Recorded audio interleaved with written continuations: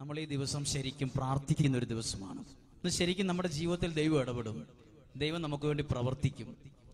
നമ്മൾ ഇന്ന് കേൾക്കുന്ന ദൈവവചനം ഇതാണ്. വിശുദ്ധ മത്തായുടെ സുവിശേഷം പതിനാലാം അധ്യായം ഇരുപത്തിരണ്ട് മുതലുള്ള ദൈവവചന ഭാഗമാണ്. ജനക്കൂട്ടത്തെ പറഞ്ഞു വിടുമ്പോഴേക്കും തനിക്ക് മുമ്പേ വഞ്ചിയിൽ കയറി മറുകരയിലേക്ക് പോകാൻ യേശു ശിഷ്യന്മാരെ നിർബന്ധിച്ചു. അവൻ ജനക്കൂട്ടത്തെ പറഞ്ഞു വിട്ടതിന് ശേഷം ഏകാന്തതയിൽ പ്രാർത്ഥിക്കുവാൻ പോയി. രാത്രിയായപ്പോഴും അവൻ അവിടെ തനിച്ചായിരുന്നു. ഇരുപത്തിരണ്ടും ഇരുപത്തിമൂന്നും വാക്യം ശ്രദ്ധിച്ച്. ഒരുപാട് ആളുകളോട് ഈശോ ദൈവത്തിന്റെ വചനം പറഞ്ഞതിന് ശേഷം ശിഷ്യന്മാരെ നിർബന്ധിച്ചു ഒരു വിജന സ്ഥലത്തേക്ക് പോകാൻ. അതിനുശേഷം എഴുതിയിരിക്കുന്നത് ഇങ്ങനെയാണ്. ഈശോ ഒരു ഒറ്റയ്ക്കൊരു സ്ഥലത്തേക്ക് മാറിയിരുന്ന് പ്രാർത്ഥിച്ചുകൊണ്ടിരുന്നു. പറയാമോ? ഹല്ലേ ലുയ്യ ഈശോ ഒരു സ്ഥലത്ത് പ്രാർത്ഥിച്ചുകൊണ്ടിരുന്നു. ശിഷ്യന്മാർ ആരും അവിടെ ഇല്ല. ശിഷ്യന്മാർ ആ സമയത്ത് ചെയ്തത് അവർ വഞ്ചിയിൽ കയറി അവർ വള്ളം തുഴഞ്ഞ് വെള്ളത്തിലൂടെ വള്ളം തുഴഞ്ഞ് തുഴഞ്ഞ് കുറെ ദൂരം അകന്നു കഴിഞ്ഞായിരുന്നു. ശ്രദ്ധിച്ചേ ഇപ്പോൾ യേശുവും ശിഷ്യന്മാരും തമ്മിൽ കാണാൻ പറ്റുന്ന ദൂരത്തിലല്ല. ഈശോ ഒരു സ്ഥലത്ത് പ്രാർത്ഥിച്ചുകൊണ്ടിരിക്കുന്നു. ശിഷ്യന്മാർ വള്ളം തുഴഞ്ഞ് വെള്ളത്തിലൂടെ ദൂരെ പോകുന്നു. പ്രതീക്ഷിക്കാതെ സമയത്ത് കാറ്റും കോളും തിരമാലകളും ഉയർന്നു പൊങ്ങി ശിഷ്യന്മാരൊരു അപകടം നേരിട്ട സമയത്ത് ഒരു അപകടം ഫേസ് ചെയ്തുകൊണ്ടിരുന്ന സമയത്ത് ഈശോയ്ക്ക് മനസ്സിലായി ശിഷ്യന്മാർ ഒരു അപകടത്തെ ഫേസ് ചെയ്യുന്നു എന്ന്. ഹല്ലേ ഇത് ശ്രദ്ധിക്കണം ഇത് പെട്ടെന്ന് നിങ്ങൾക്ക് മനസ്സിലായോ ഇല്ലയോ എന്ന് എനിക്ക് സംശയമുണ്ട്. ഈശോ ഒരു സ്ഥലത്ത് പ്രാർത്ഥിച്ചുകൊണ്ടിരിക്കുക ഈശോ കാണാതെ എങ്ങനെയാ അറിഞ്ഞത്? ഒരു പ്രതിസന്ധിയിലൂടെയാ കടന്നു പോയത് പോയിക്കൊണ്ടിരിക്കുന്നതെന്ന്. ശിഷ്യന്മാര് കടലിൽ ഈ വഞ്ചി തുഴഞ്ഞുകൊണ്ട് പോകുന്നു. തിരമാലകളും പ്രതിസന്ധികളും ആഞ്ഞടിക്കുന്ന ഒരു സമയത്ത് ഈശോ കാണാതെ എങ്ങനെ അറിഞ്ഞ് ശിഷ്യന്മാർ ഒരു പ്രതിസന്ധിയിലാണ് ഒരു കഷ്ടപ്പ ഒരു പ്രതി ഒരു അപകട നില ആ- ആ ഒരവസ്ഥയിലാണെന്ന് എങ്ങനെ അറിഞ്ഞത്? ഞാൻ അതിനകത്തൊരു കാര്യം മനസ്സിലാക്കുന്നു. പ്രാർത്ഥിക്കുന്ന വ്യക്തിക്ക് ചില കാര്യങ്ങൾ കാണാതെ തന്നെ അറിയാൻ പറ്റും. പണ്ട് നമ്മുടെ ഭവനങ്ങളിൽ ഇങ്ങനെയുള്ള അപ്പച്ചന്മാരും അമ്മച്ചിമാരും ഉണ്ടായിരുന്നു. ഇങ്ങനെയുള്ള അഭിഷേകമുള്ള വൈദികർ ഉണ്ടായിരുന്നു. എങ്ങനെ? നമ്മളുടെ പ്രശ്നം നമ്മൾ പറയാതെ പ്രാർത്ഥനയിൽ അറിയും. അങ്ങനെ അറിവുള്ളവർ ഇന്ന് വളരെ ചുരുക്കമാണ്. ഈശോ ഒരു സ്ഥലത്ത് പ്രാർത്ഥിച്ചുകൊണ്ടിരിക്കുമ്പോ കാണാതെ തന്നെ അറിഞ്ഞു ശിഷ്യന്മാർ ഒരു പ്രതിസന്ധിയിലാണല്ലോ. ഹല്ലേ ലൂയ ഇവിടെ ഇരിക്കുന്ന മാതാപിതാക്കൾ ശ്രദ്ധിച്ച് നിങ്ങൾ നിങ്ങളുടെ വീടിന്റെ തൊട്ടടുത്ത മുറിയിൽ കിടക്കുന്ന നിങ്ങളുടെ മകന്റെയോ മകളുടെയോ മനസ്സുപോലും നിങ്ങൾ തൊട്ടിപ്പുറത്തെ മുറിയിൽ കിടക്കുന്ന നിങ്ങൾക്ക് പോലും നൂറ് ശതമാനവും അറിയത്തില്ല. നിങ്ങൾക്ക് അറിയത്തില്ല എന്തെങ്കിലും ഒരു അപകടത്തിലെത്തുമ്പോഴേ അറിയുന്നുള്ളൂ. എന്നാൽ ഒരു കാര്യം കേട്ടോ.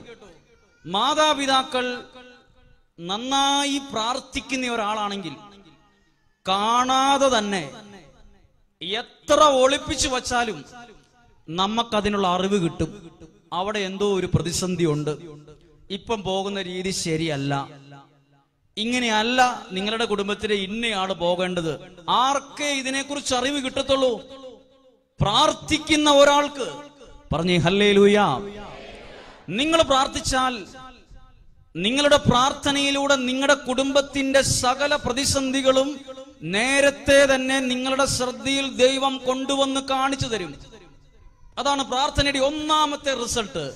പ്രാർത്ഥിക്കുന്ന വ്യക്തിക്ക് കണ്ണിൽ കാണാതെ തന്നെ എത്ര ദൂരത്തിരിക്കുന്ന കാര്യങ്ങളും അറിയാൻ കഴിയും.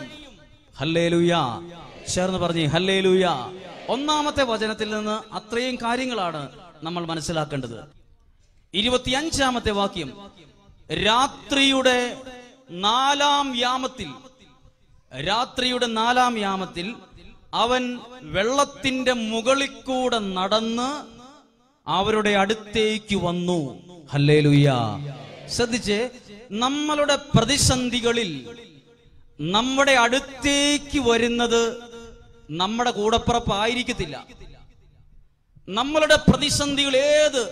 രാത്രിയുടെ നാലാം യാമം എന്ന് പറഞ്ഞാൽ എന്താ നമ്മൾ ഉദ്ദേശിച്ചത്? നമ്മൾ മനസ്സിലാക്കേണ്ടത് നമ്മളുടെ പ്രതിസന്ധികളുടെ കടബാധ്യതകളുടെ രോഗത്തിന്റെ കൂരിരുട്ടിന്റെ നാലാം യാമത്തിലും നമ്മുടെ ആവശ്യ നേരത്ത് നാലാം യാമത്തിലും നമ്മുടെ ദൈവം നമ്മുടെ അടുത്തേക്ക് നടന്നു വരുന്ന ദൈവമാണ്.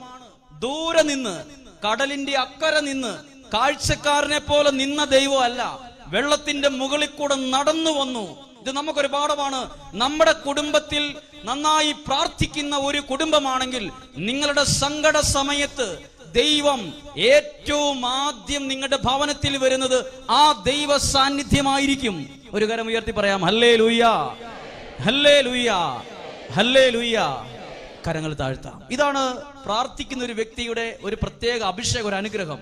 രണ്ടാമതൊരു കാര്യം ശ്രദ്ധിക്കുക ഈ വചനത്തിൽ നിന്ന്. ഈശോ ഈശോയെ കണ്ടപ്പോ ശിഷ്യന്മാർ പറഞ്ഞു ഇതാ ഭൂതം. അപ്പോൾ ശിഷ്യന്മാരോട് ഈശോ പറഞ്ഞു ഞാൻ ഭൂതമല്ല ഞാൻ ഈശോയാണ് യേശുവാണ് നിങ്ങളുടെ ദൈവമാണ്. അപ്പൊ പത്രോസ് ചോദിക്കൂ അങ്ങനെയാണെങ്കിൽ എന്നോട് ഈ വെള്ളത്തിന്റെ മുകളിൽ കൂടെ നടന്നു വരാൻ നീ കൽപ്പിക്കുക. പറഞ്ഞു ഹല്ലേ ലൂയ ഇനി പത്രോസ് ഈ വെള്ളത്തിന്റെ മുകളിൽ കൂടെ നമ്മൾ വെള്ളത്തിന്റെ മുകളിൽ കൂടെ നടന്നിട്ടുണ്ടോ? നമ്മൾ നടന്നിട്ടുണ്ട്. എത്രയോ കടബാധ്യതകളിലൂടെ കടന്നുപോയപ്പോ നമ്മുടെ മനസ്സ് ചിലപ്പോൾ നമ്മളോട് പറഞ്ഞിട്ടുണ്ട് എന്ത് ചെയ്യും? ഇനി ആത്മഹത്യ ചെയ്യേണ്ടി വരുമോ എങ്ങനെ മുന്നോട്ട് നീങ്ങുമെന്ന് പറഞ്ഞിട്ട് നമ്മളൊന്ന് നമ്മുടെ കഴിഞ്ഞ രണ്ടായിരത്തി പതിനെട്ട് വരെയുള്ള ഓരോ ദിവസങ്ങളും ഒന്ന് പരിശോധിച്ച് നോക്കിക്കേ. നമ്മളും ചില കടബാധ്യതകളുടെ മുകളിൽ കൂടെ നടന്നു പോയിട്ടുണ്ട്. ചില രോഗങ്ങൾ ഉണ്ടായ സമയത്ത് ദൈവം നമ്മളെ നടത്തിയിട്ടുണ്ട്. നമ്മളും വെള്ളത്തിലൂടെ നടന്നിട്ടുണ്ട്. അല്ല നമ്മളെ ദൈവം വെള്ളത്തിന്റെ മുകളിൽ കൂടെ നടത്തിയിട്ടുണ്ട്. പറഞ്ഞു ഹല്ലേ ലൂയ നമ്മളെ നടത്തി നമ്മൾ അറിയാഞ്ഞിട്ടാ. നമ്മൾ ഇന്ന് നോക്കുമ്പോൾ ഒന്നും നടന്നതായിട്ട് തോന്നത്തില്ല. പക്ഷെ നമ്മൾ ഒരു നിശ്ചിത ദൂരം ചെന്ന് നമ്മൾ തന്നെ തിരിഞ്ഞു നോക്കണം. ദൈവമേ എന്റെ നാൾ ഇതുവരെയുള്ള ജീവിതത്തെ ചിന്തിച്ചു നോക്കിക്കേ. ദൈവം ഒരുപാട് സാഹചര്യങ്ങൾ വെള്ളത്തിന്റെ മുകളിൽ കൂടെ നടക്കുക എന്ന് പറഞ്ഞാൽ എന്താ? ആ വെള്ളം എപ്പോൾ വേണമെങ്കിലും ഈ നടക്കുന്ന വ്യക്തിയെ താഴ്ത്താൻ ശക്തിയുള്ളതാ. ഈ വെള്ളത്തിൽ താഴ്ന്നു പോകാൻ സാധ്യതയുണ്ട്. പക്ഷെ താഴ്ന്നു പോകാൻ സാധ്യതയുള്ള പല സ്ഥലത്തും ദൈവം നമ്മളെ കൈപിടിച്ച് നടത്തിയിട്ടില്ലെന്ന് പറയാൻ ഒക്കുമോ? ഇല്ല. എന്തേറെ പ്രതിസന്ധി ഉണ്ടായപ്പോഴും താഴ്ന്നു പോകാൻ സാധ്യതയുള്ള കടബാധ്യത ഉണ്ടായപ്പോഴും താഴ്ന്നു പോകാൻ സാധ്യതയുള്ള രോഗപീഠ ഉണ്ടായപ്പോഴും താഴ്ന്നു പോകാൻ സാധ്യതയുള്ള അസ്വസ്ഥത കുടുംബത്തിൽ ഉണ്ടായപ്പോഴും നിങ്ങളെ പിടിച്ചു നിർത്തിയത് നിങ്ങളുടെ പൈസയോ എഡ്യൂക്കേഷനോ ആരോഗ്യമോ അല്ല. അത് ദൈവത്തിന്റെ കരമാണ്. പറഞ്ഞു ഹല്ലേ ലൂയ ഹല്ലേ ലുയ്യ അതുകൊണ്ടാണ് നമ്മൾ പറയുന്നത് നമ്മുടെ ബുദ്ധിക്ക് ചെയ്യാൻ പറ്റാത്തത് ദൈവത്തിന് ചെയ്യാൻ പറ്റും. നമ്മുടെ ശക്തി കൊണ്ട് പറ്റാത്തത് ദൈവശക്തി കൊണ്ട് പറ്റും. അത് കിട്ടണമെങ്കിൽ എന്ത് വേണം? ദൈവത്തിന്റെ ശക്തി കിട്ടാൻ നമ്മൾ എന്നും ഒരു ഹാജർ വെക്കണം സ്കൂളിൽ പോകുന്ന കുട്ടികൾക്ക് എന്നും ഹാജറുണ്ട്. കോളേജിൽ പഠിക്കുന്ന കുട്ടികൾക്ക് ഹാജറുണ്ട്. ഒരു ദിവസം ചെന്നില്ലല്ലോ അന്ന് ആബ്സെന്റ് ആണ്. ദൈവത്തോടുള്ള നമ്മുടെ ബന്ധത്തിൽ ആബ്സെന്റ് ഉണ്ടാകാൻ പാടില്ല. ഹല്ലേ ദൈവത്തോടുള്ള ബന്ധത്തിൽ ദൈവവചന വായനയിൽ കുടുംബത്തിലെ സജീവമായ പ്രാർത്ഥനയിൽ ആബ്സെന്റ് ഉണ്ടാകാൻ പാടില്ല. എന്നും പ്രസന്റ് ആയിരിക്കണം. ഹല്ലേ അങ്ങനെയാണെങ്കിലോ ഒരു സ്ഥലത്തും താഴ്ന്നു പോകാൻ നിങ്ങളെയോ നിങ്ങളുടെ കുടുംബത്തെയോ സർവശക്തനായ ദൈവം ഒരിക്കലും അനുവദിക്കില്ല. ഹല്ലേലൂയ. അതാണ് നമ്മൾ ദൈവത്തിൽ ആശ്രയിക്കുന്നതിന്റെ ഏറ്റവും വലിയ ശക്തി. ഇനി ശ്രദ്ധിക്കുക. വളരെ ശ്രദ്ധിക്കണം. ഒത്തിരി പേരുടെ ദുഃഖം. ആരോ മന്ത്രവാദം ചെയ്തു ആരോ കൂടോത്രം ചെയ്തു എന്നൊക്കെ ഒത്തിരി പേരുടെ ദുഃഖമാണ്. അതുകൊണ്ടാണ് ഞങ്ങൾ തകർന്നെന്ന് എന്നാൽ ശ്രദ്ധിച്ചോ ഒരു മന്ത്രവാദം ചെയ്യുന്ന ഒരു വ്യക്തിക്ക് തന്റെ മന്ത്രവാദം കൊണ്ട് ഒരു മനുഷ്യന്റെ ബുദ്ധിയെ കെടുത്താൻ പറ്റും. കൂടോത്രം ക്ഷുദ്രപ്രയോഗം അല്ലെങ്കിൽ ചില ക്രിയകൾ ചെയ്ത് ഒരാളുടെ സാമ്പത്തിക മേഖലയെ മുടക്കാൻ പറ്റും. ചില ബിസിനസ്സിനെ ഉടക്കാൻ പറ്റും. ചില ആളുകൾ ബിസിനസ് നടത്തുമ്പോൾ തൊട്ടടുത്ത കടയിലേക്ക് ആളുകൾ കൂടുതൽ വരാൻ ഒരു പ്രത്യേകതരം ഒരു മന്ത്രവാദം ചെയ്താൽ ആ കടയിലേക്ക് പിന്നെ അധികം ആളുകൾ പോവില്ല. മന്ത്രവാദം ചെയ്യുന്ന മന്ത്രവാദിക്ക് ഇങ്ങനെയുള്ള ചില കഴിവുകളുണ്ട്. ക്ഷുദ്രപ്രയോഗം ചെയ്യുന്ന ഒരു വ്യക്തിക്ക് നന്നായി പഠിച്ചുകൊണ്ടിരിക്കുന്ന ഒരു കൊച്ചിനെ ഒരു പഠിക്കാൻ ഒരു ഉഷാറില്ലാതാക്കാം. പഠിക്കാൻ താല്പര്യമില്ല പ്രാർത്ഥിക്കാൻ താല്പര്യമില്ല. ചില തെറ്റായ പ്രേമബന്ധങ്ങളിൽ കുടുങ്ങിപ്പോകുന്ന ചില കുട്ടികളെ ആ പ്രേമബന്ധത്തിൽ നിന്ന് ഒരിക്കലും മാറിപ്പോകാതിരിക്കാൻ കുടുക്കിയിടാം. കുടുക്കിയിടാം. ഇനി പറയുന്നത് ശ്രദ്ധിക്കണം. ഇതൊരു മന്ത്രവാദിക്ക് മന്ത്രവാദം കൊണ്ട് ചെയ്യാൻ പറ്റുന്ന കാര്യം ഇത്. എന്നാൽ ദൈവത്തിൽ ആശ്രയിക്കുന്ന ഒരാളുടെ പ്രത്യേകത. ദൈവത്തിൽ എന്നും ഹാജർ വെക്കുന്ന ഒരാളുടെ പ്രത്യേകത. എനിക്ക് നോർമലായി എന്റെ ജനനത്തിലൂടെ എനിക്കൊരു കഴിവ് കിട്ടിയിട്ടുണ്ട്. എനിക്കൊരു ബുദ്ധിയുണ്ട്. എനിക്കൊരു കഴിവുണ്ട്. എനിക്ക് ശക്തിയുണ്ട്. ഞാൻ വിചാരിക്കുന്നു എന്റെ ഈ കഴിവ് മതി എനിക്ക് വിജയിക്കാൻ. പക്ഷെ അതിനോടൊരു പ്ലസ് വേണം. എന്റെ ബുദ്ധിയോട് ദൈവത്തിന്റെ ബുദ്ധി കൂടി വരുമ്പോ എനിക്ക് വേറൊരു കഴിവ് കിട്ടുന്നുണ്ട്. ഹല്ലേ എന്റെ ശക്തിയോട് ഞാൻ ദിവസവും ദൈവത്തോടുള്ള ബന്ധത്തിൽ ഹാജർ വെക്കുമ്പോ ദൈവത്തിന്റെ ഒരു ശക്തി എനിക്ക് കിട്ടുന്നുണ്ട്. അതാ ഒരാളുടെ വിജയരഹസ്യം ഹല്ലേ എന്റെ ബുദ്ധിയെ ഒരു മന്ത്രവാദം ചെയ്യുന്ന ഒരു വ്യക്തിക്ക് എന്റെ ബുദ്ധിയെ സ്വാധീനിക്കാം. എന്റെ കഴിവിനെ സ്വാധീനിക്കാം. എന്റെ ബിസിനസ്സിനെ തകർക്കാം. എന്റെ കടബ എന്റെ വീടിനെ എന്തെങ്കിലും തരത്തിൽ ചെയ്യാം. പക്ഷെ ദൈവത്തിൽ ആശ്രയിക്കുമ്പോൾ ദൈവത്തിന്റെ ശക്തി കൂടിയുള്ള ഒരു കുടുംബത്തെ ദൈവത്തിന്റെ കൃപയുള്ള ഒരു ബുദ്ധിയെ ദൈവത്തിന്റെ അഭിഷേകമുള്ള ഒരു ശരീരത്തെ ദൈവത്തിന്റെ ആത്മാവുള്ള ഒരു വ്യക്തിയെ മന്ത്രവാദത്തിന്റെ മന്ത്രവാദിയുടെ മന്ത്രവാദം കൊണ്ട് ഒരു ചുക്കും ചെയ്യാൻ കഴിയില്ല. ഹല്ലേലൂയ. എന്റെ നോർമൽ ബുദ്ധിയെ സ്വാധീനിക്കാം. പക്ഷെ എന്റെ നോർമൽ ബുദ്ധിയോട് ഞാൻ ദൈവത്തോടുള്ള ബന്ധത്തിൽ എനിക്ക് കിട്ടിയിരിക്കുന്ന ഒരു ശക്തി കൂടി ഉണ്ടെങ്കിൽ ആ ശക്തിയെ ഒരു മന്ത്രവാദിക്കും ഒരു ശുദ്രപ്രയോഗ ക്രിയ ചെയ്യുന്നവനും ഒരു ആഭിചാരം ചെയ്യുന്നവനും ഒരു കൂടോത്രക്കാരനും സ്വാധീനിക്കാനോ തൊടാനോ കഴിയില്ല. ഹല്ലേ ചേർന്ന് പറഞ്ഞു ഹല്ലേ അതാ നമ്മൾ ചിന്തിക്കുന്നത് നമ്മളുടെ കഴിവ് മാത്രം പോരാ. നമ്മുടെ കഴിവ് കൊണ്ട് എല്ലാം നടക്കുന്നില്ല. നമ്മുടെ ബുദ്ധി കൊണ്ടെല്ലാം നടക്കുന്നില്ല. നമ്മൾ ഇത്രയും നാൾ തലകുത്തി നടന്ന് പറമ്പിൽ പണിയെടുത്തിട്ട് എത്ര പൈസ മിച്ചമുണ്ട്? എന്തേരെ പൈസ നമ്മൾ ബാങ്ക് ഡിപ്പോസിറ്റ് ഇട്ടിട്ടുണ്ട്? നമുക്ക് അവസാനം കടവും കണ്ണുനീരും അല്ലേ ഉള്ളൂ? എന്തുകൊണ്ടാണ് നമുക്ക് ബുദ്ധിയില്ലാഞ്ഞിട്ടാണോ? നമ്മൾ വെയിൽ കൊണ്ട് പണിയെടുക്കാത്തോണ്ടാണോ? ഞാൻ പൈസ കൊണ്ട് അപ്പുറത്തൊരു കുഴി കൊണ്ടേ ഒന്നുമല്ല വളരെ ശ്രദ്ധിച്ചാണ് കൈകാര്യം ചെയ്യുന്നത്. ആൾക്ക് പൈസ കൈകാര്യം ചെയ്യാനുള്ള കഴിവുണ്ട്. പക്ഷെ ഒരു കാര്യം ശ്രദ്ധിക്കുക. ദൈവത്തോടുള്ള ബന്ധത്തിൽ ഒരു ഹാജർ വയ്ക്കുമ്പോൾ ഞാൻ ദൈവത്തോടുള്ള ബന്ധത്തിൽ എന്നും ആക്റ്റീവായി നിൽക്കുമ്പോൾ എന്റെ കഴിവ് എന്റെ ബുദ്ധി ദൈവത്തിന്റെ ശക്തി വന്ന് ചേർന്ന് ഞാൻ ചെയ്യുന്നതിനെ ദൈവം ഏറ്റെടുത്ത് വിജയിപ്പിച്ചുകൊണ്ടിരിക്കും. ഹല്ലേ ലൂയാ പറഞ്ഞു ഹല്ലേ ലൂയാ അതാണ് ഈശോ പറഞ്ഞത്. ഈശോ എല്ലാ കാര്യം ചെയ്യുന്നതിന് മുമ്പ് ശിഷ്യന്മാരെ ഒക്കെ പറഞ്ഞു വിട്ടിട്ട് ഈശോ ഒരു സ്ഥലത്ത് പോയി കുറെ നേരം പ്രാർത്ഥിച്ചു. ഈശോ എന്തിനാ പ്രാർത്ഥിച്ചത്? ഈശോയ്ക്ക് കടലിലും മുകളിൽ കൂടെ നടക്കാനുള്ള ശക്തി ഉണ്ടല്ലോ പിന്നെ എന്തിനാ പ്രാർത്ഥിച്ചത്? ഈശോ പോലും പ്രാർത്ഥിച്ചു. അപ്പോൾ സാധാരണ മനുഷ്യരായ നമ്മൾ പോലും എന്തേറെ പ്രാർത്ഥനയുള്ള ഒരാളായിരിക്കണമെന്നാണ് ദൈവവചനം പ്രിയപ്പെട്ടവരായി നമ്മളെ പഠിപ്പിക്കുന്നത്. പറഞ്ഞു ഹല്ലേ ലുയാ ഹല്ലേ ലൂയ ഇനി ഇരുപത്തിയാറാമത്തെ വാക്ക് ഇരുപത്തിയേഴാമത്തെ വാക്യം. സോറി ഇരുപത്തിയെട്ടാമത്തെ വാക്യം. അവൻ പറഞ്ഞു അവനോട് പറഞ്ഞു കർത്താവേ അങ്ങാണെങ്കിൽ ജലത്തിന്റെ മുകളിൽ കൂടെ വരാൻ എന്നോട് കൽപ്പിക്കണം. ഹല്ലേലൂയ. പത്രോസ്ലിഹ എല്ലാവരും ശ്രദ്ധിച്ച് എല്ലാവരും ശ്രദ്ധിച്ച്. പത്രോസ്ലിഹ നമ്മൾ ഈ കാർപ്പറ്റ് ഇട്ടിരിക്കുന്ന ഇതിലെ കൂടെ നടന്നു പോയ പോലെ തന്നെ വെള്ളത്തിന്റെ മുകളിൽ കൂടെ നടന്നു. ഇതുപോലെ നടന്നു താന്നു പോയില്ല. കാലിന്റെ പാദം പോലും താഴ്ന്നു പോയില്ല. ആ സമയത്ത് ഒരു പ്രത്യേകതയുണ്ട്. ഈശോയുടെ മുഖത്തു നിന്നുള്ള നോട്ടം മാറിയപ്പം അതേ വെള്ളത്തിൽ അതേ സാഹചര്യത്തിൽ ഈ കാർപ്പറ്റിന്റെ മുകളിൽ കൂടെ ഈ സിമന്റ് തറയിൽ കൂടെ നമ്മൾ നടന്ന പോലെ നടന്ന പത്രോശ്രീഹ പെട്ടെന്ന് താന്നുപോയി അപ്പൊ അവിടെ വെള്ളത്തിന്റെ ഷേപ്പ് ഒന്നും മാറിയിട്ടില്ല. അപ്പുറത്ത് ചവിട്ടി അതേ വെള്ളത്തിൽ അതേപോലത്തെ വെള്ളത്തിൽ തന്നെ അതേപോലത്തെ വെള്ളത്തിൽ തന്നെ എവിടെയും ചവിട്ടിയത്? എന്തുകൊണ്ട് അവിടെ താന്നു ഇവിടെ താന്നില്ല? ശ്രദ്ധിച്ചേ. നമ്മളും ചില സ്ഥലങ്ങളിൽ താണുപോയിട്ടുണ്ട് എപ്പോഴാ നമ്മൾ താണുപോയത് എപ്പോഴാ നമ്മൾ പരാജയപ്പെട്ടത്? നമ്മുടെ കഴിവുകൊണ്ട് നമ്മൾ നടക്കാൻ തുടങ്ങിയപ്പോഴാ നമ്മൾ തോറ്റത്. നമ്മുടെ ബുദ്ധി കൊണ്ട് നമ്മളെല്ലാം പിടിച്ചെടുക്കാൻ വേണ്ടി നമ്മൾ തുടങ്ങിയപ്പോഴാ നമ്മൾ താണുപോയത് പറഞ്ഞു ഹല്ലേ ലുയ്യ ഹല്ലേ ലുയ്യ ഇനി ശ്രദ്ധിക്കണം വളരെ ശ്രദ്ധിക്കണം. പത്രോ ശ്രീഹ എവിടെയാ താണുപോയത് വെള്ളത്തിൽ താണുപോയി ആരാ കൈക്ക് പിടിച്ച് താന്നുപോയ സ്ഥലത്ത് നിന്ന് പിടിച്ചുയർത്തിയത്? ശിഷ്യന്മാരാണോ? ഈശോയാണോ? ഇത് നിങ്ങൾ ഇന്ന് ഏകദിന ഈ വെള്ളിയാഴ്ച പ്രാർത്ഥന ഓർത്തു നമ്മൾ എവിടെയെങ്കിലും താഴ്ന്നു പോയിട്ടുണ്ടെങ്കിൽ അവിടെ നിന്ന് നമ്മളെ പിടിച്ചു കയറ്റുന്നത് മനുഷ്യന്റെ കരം ആയിരിക്കില്ല. ദൈവകരമായിരിക്കും. പത്രോശ്രീക താഴ്ന്നുപോയ സ്ഥലത്ത് പിടിച്ചു കയറ്റാൻ നീട്ടിയ കരം ദൈവത്തിന്റെയാണ്. നിങ്ങൾ എവിടെയെങ്കിലും താന്നു പോയിട്ടുണ്ടെങ്കിൽ വിഷമിക്കരുത്.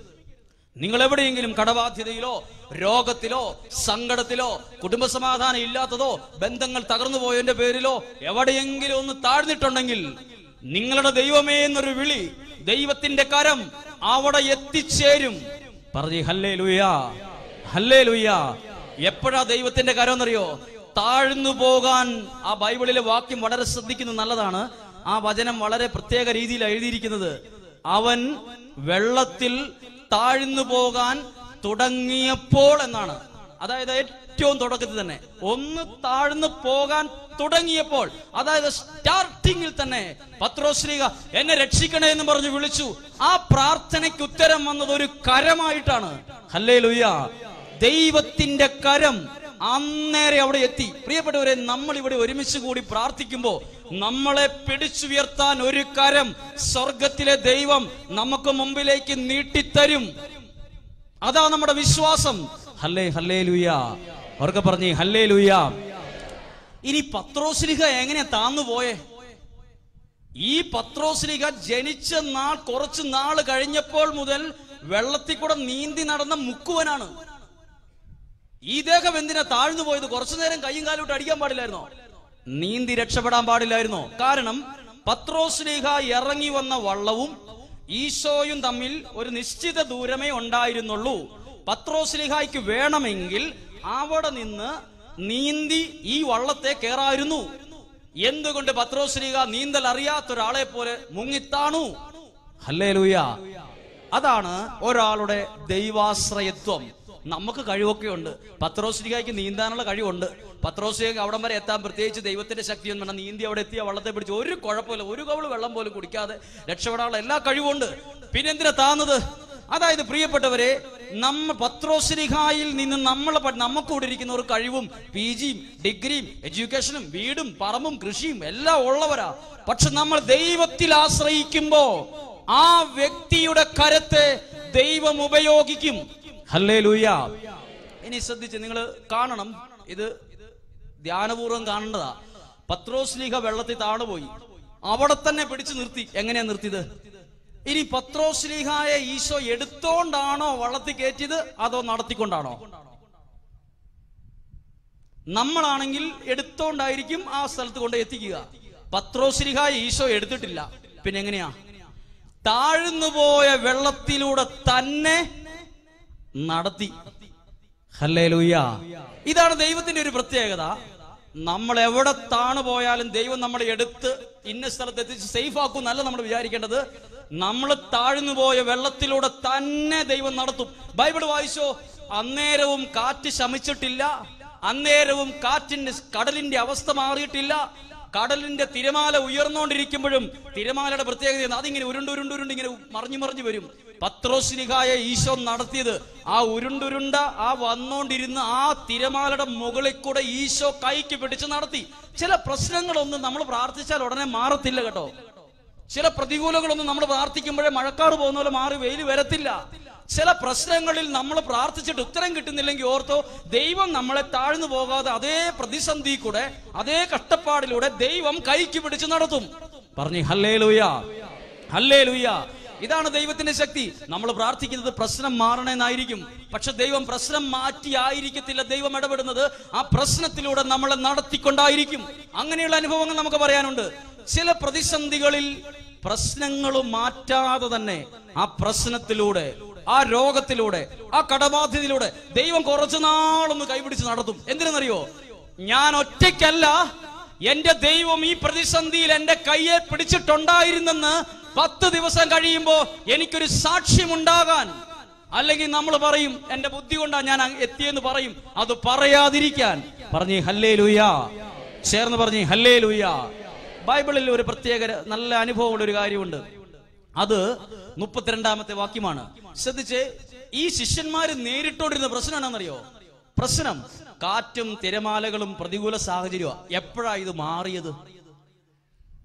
മാറിയത് എപ്പോഴാ? മാറിയത് ഈശോ പത്രോസിനെയും കൂട്ടി ആ വള്ളത്തിൽ കയറിയപ്പോഴാണ് കാറ്റ് ശമിച്ചത്. അപ്പോൾ ഇത്രയും കൈകാര്യം ഈ പത്രോസിനെ കൈക്ക് പിടിച്ച് നടത്തുമ്പോഴെല്ലാം ഈ പ്രശ്നം ഉണ്ടായിരുന്നു. കാറ്റ് ശമിച്ചത് പിന്നീട് കുറച്ച് കഴിഞ്ഞ പിന്നെയാ. ശരിക്കും നമ്മൾ ഇങ്ങനെയല്ലേ വിചാരിക്കേണ്ടത്? ഇങ്ങനെ പത്രോസ് മുങ്ങിത്താഴാൻ തുടങ്ങിയപ്പോഴേ ഈശോ കാറ്റ് ശമിച്ചു കടലിനെ ശാന്തമാക്കി. എന്നിട്ട് ഈശോ പത്രോസിനെ രക്ഷിച്ചു എന്നല്ല. ഈശോ പത്രോസിനെ കൈക്ക് പിടിച്ച വള്ളത്തിൽ കയറ്റി. അതിനുശേഷമേ കാറ്റ് ശമിച്ചുള്ളൂ. ഹല്ലേ ലൂയ എന്നെ കേൾക്കുന്ന പ്രിയപ്പെട്ട പ്രിയപ്പെട്ടവരെ നിങ്ങൾ ഓരോ പ്രശ്നങ്ങളിലൂടെ ആയിരിക്കും. പ്രതിസന്ധികൾ നിങ്ങൾക്കുണ്ടാകും. ചിലപ്പോൾ നിങ്ങൾ മുഖാമുഖം കാണുന്നത് ഒരു രോഗപീഠയായിരിക്കും എന്തുവാകട്ടെ ഞാൻ എത്ര ദിവസമായി പ്രാർത്ഥിക്കാൻ തുടങ്ങി. എന്നെ മാറാത്തൻ ചിന്തിക്കരുത്. ചില പ്രതിസന്ധികളിൽ കൂടെ നമ്മളെ ദൈവം ദാ ഈ കാർപ്പറ്റേ കൂടെ നമ്മൾ നടക്കുന്ന പോലെ നമ്മളെ കൈക്ക് പിടിച്ച് നടത്തും. ഹല്ലേലൂയ. അതിനുവേണ്ടി ചില പ്രതിസന്ധികൾ കുറച്ച് കഴിഞ്ഞേ നമ്മളിൽ നിന്ന് മാറത്തുള്ളൂ. എന്നാലും പേടിച്ചോ. പേടിക്കരുത്. പത്രോസ്ലിഹായെ എടുത്തു പിടിച്ചല്ല ആ വള്ളത്തിലേക്ക് കൊണ്ട് ഇരുത്തിയത്. അതേ വെള്ളത്തിൽ കൂടെ നടത്തിയ. നമ്മൾ എവിടെ താണു പോയോ?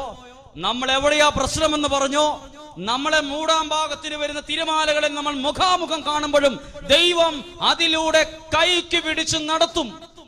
പറഞ്ഞേ ഹല്ലേ ലൂയ അതാ നമ്മൾ പാടിയത്. എന്താ പാടിയെന്നറിയോ? എരുതിയിൽ വീണാലും അവിടെ ഞാൻ ഏകനല്ല. വീഴുന്നത് എവിടെയാ? എറിയുന്നത് തീക്ക് തീയിലേക്കാണേലും. വീഴുന്നത് തീയിലല്ല അത് ദൈവത്തിന്റെ കരങ്ങളിലാ. പറഞ്ഞു ഹല്ലേ ലൂയ ഓർക്കെ പറഞ്ഞു ഹല്ലേ ലൂയ താഴ്ന്നുപോയ സ്ഥലത്ത് പത്രോസിനെ പിടിച്ചു നിർത്തിയത് ദൈവകരമാണെങ്കിൽ ഈ അൾത്താരയിൽ നിന്ന് ഒരു ദൈവസ്വരം വിളിച്ചു പറയുന്നു. നിങ്ങൾ എവിടെയെങ്കിലും താണു പോയിട്ടുണ്ടെങ്കിൽ നിങ്ങൾ എവിടെയെങ്കിലും ഒന്ന് വീഴ്ച പറ്റിയിട്ടുണ്ടെങ്കിൽ നിങ്ങൾ എവിടെയെങ്കിലും മുങ്ങി താണോണ്ടിരിക്കുവാണെങ്കിൽ നിങ്ങൾ ഏതെങ്കിലും പ്രതിസന്ധിയിലാണെങ്കിൽ നിങ്ങളെ കൈക്ക് പിടിച്ചുന്നത് എന്റെ കരമൊന്നും ആയിരിക്കത്തില്ല. നിങ്ങളെ കൈക്ക് പിടിക്ക് ഉയർത്തുന്നത് അതേ കുഴിയിൽ ഉയർത്തുന്നത് ദൈവത്തിന്റെ കരമായിരിക്കും. എങ്ങനെയെന്ന് എന്നോട് ചോദിക്കരുത്.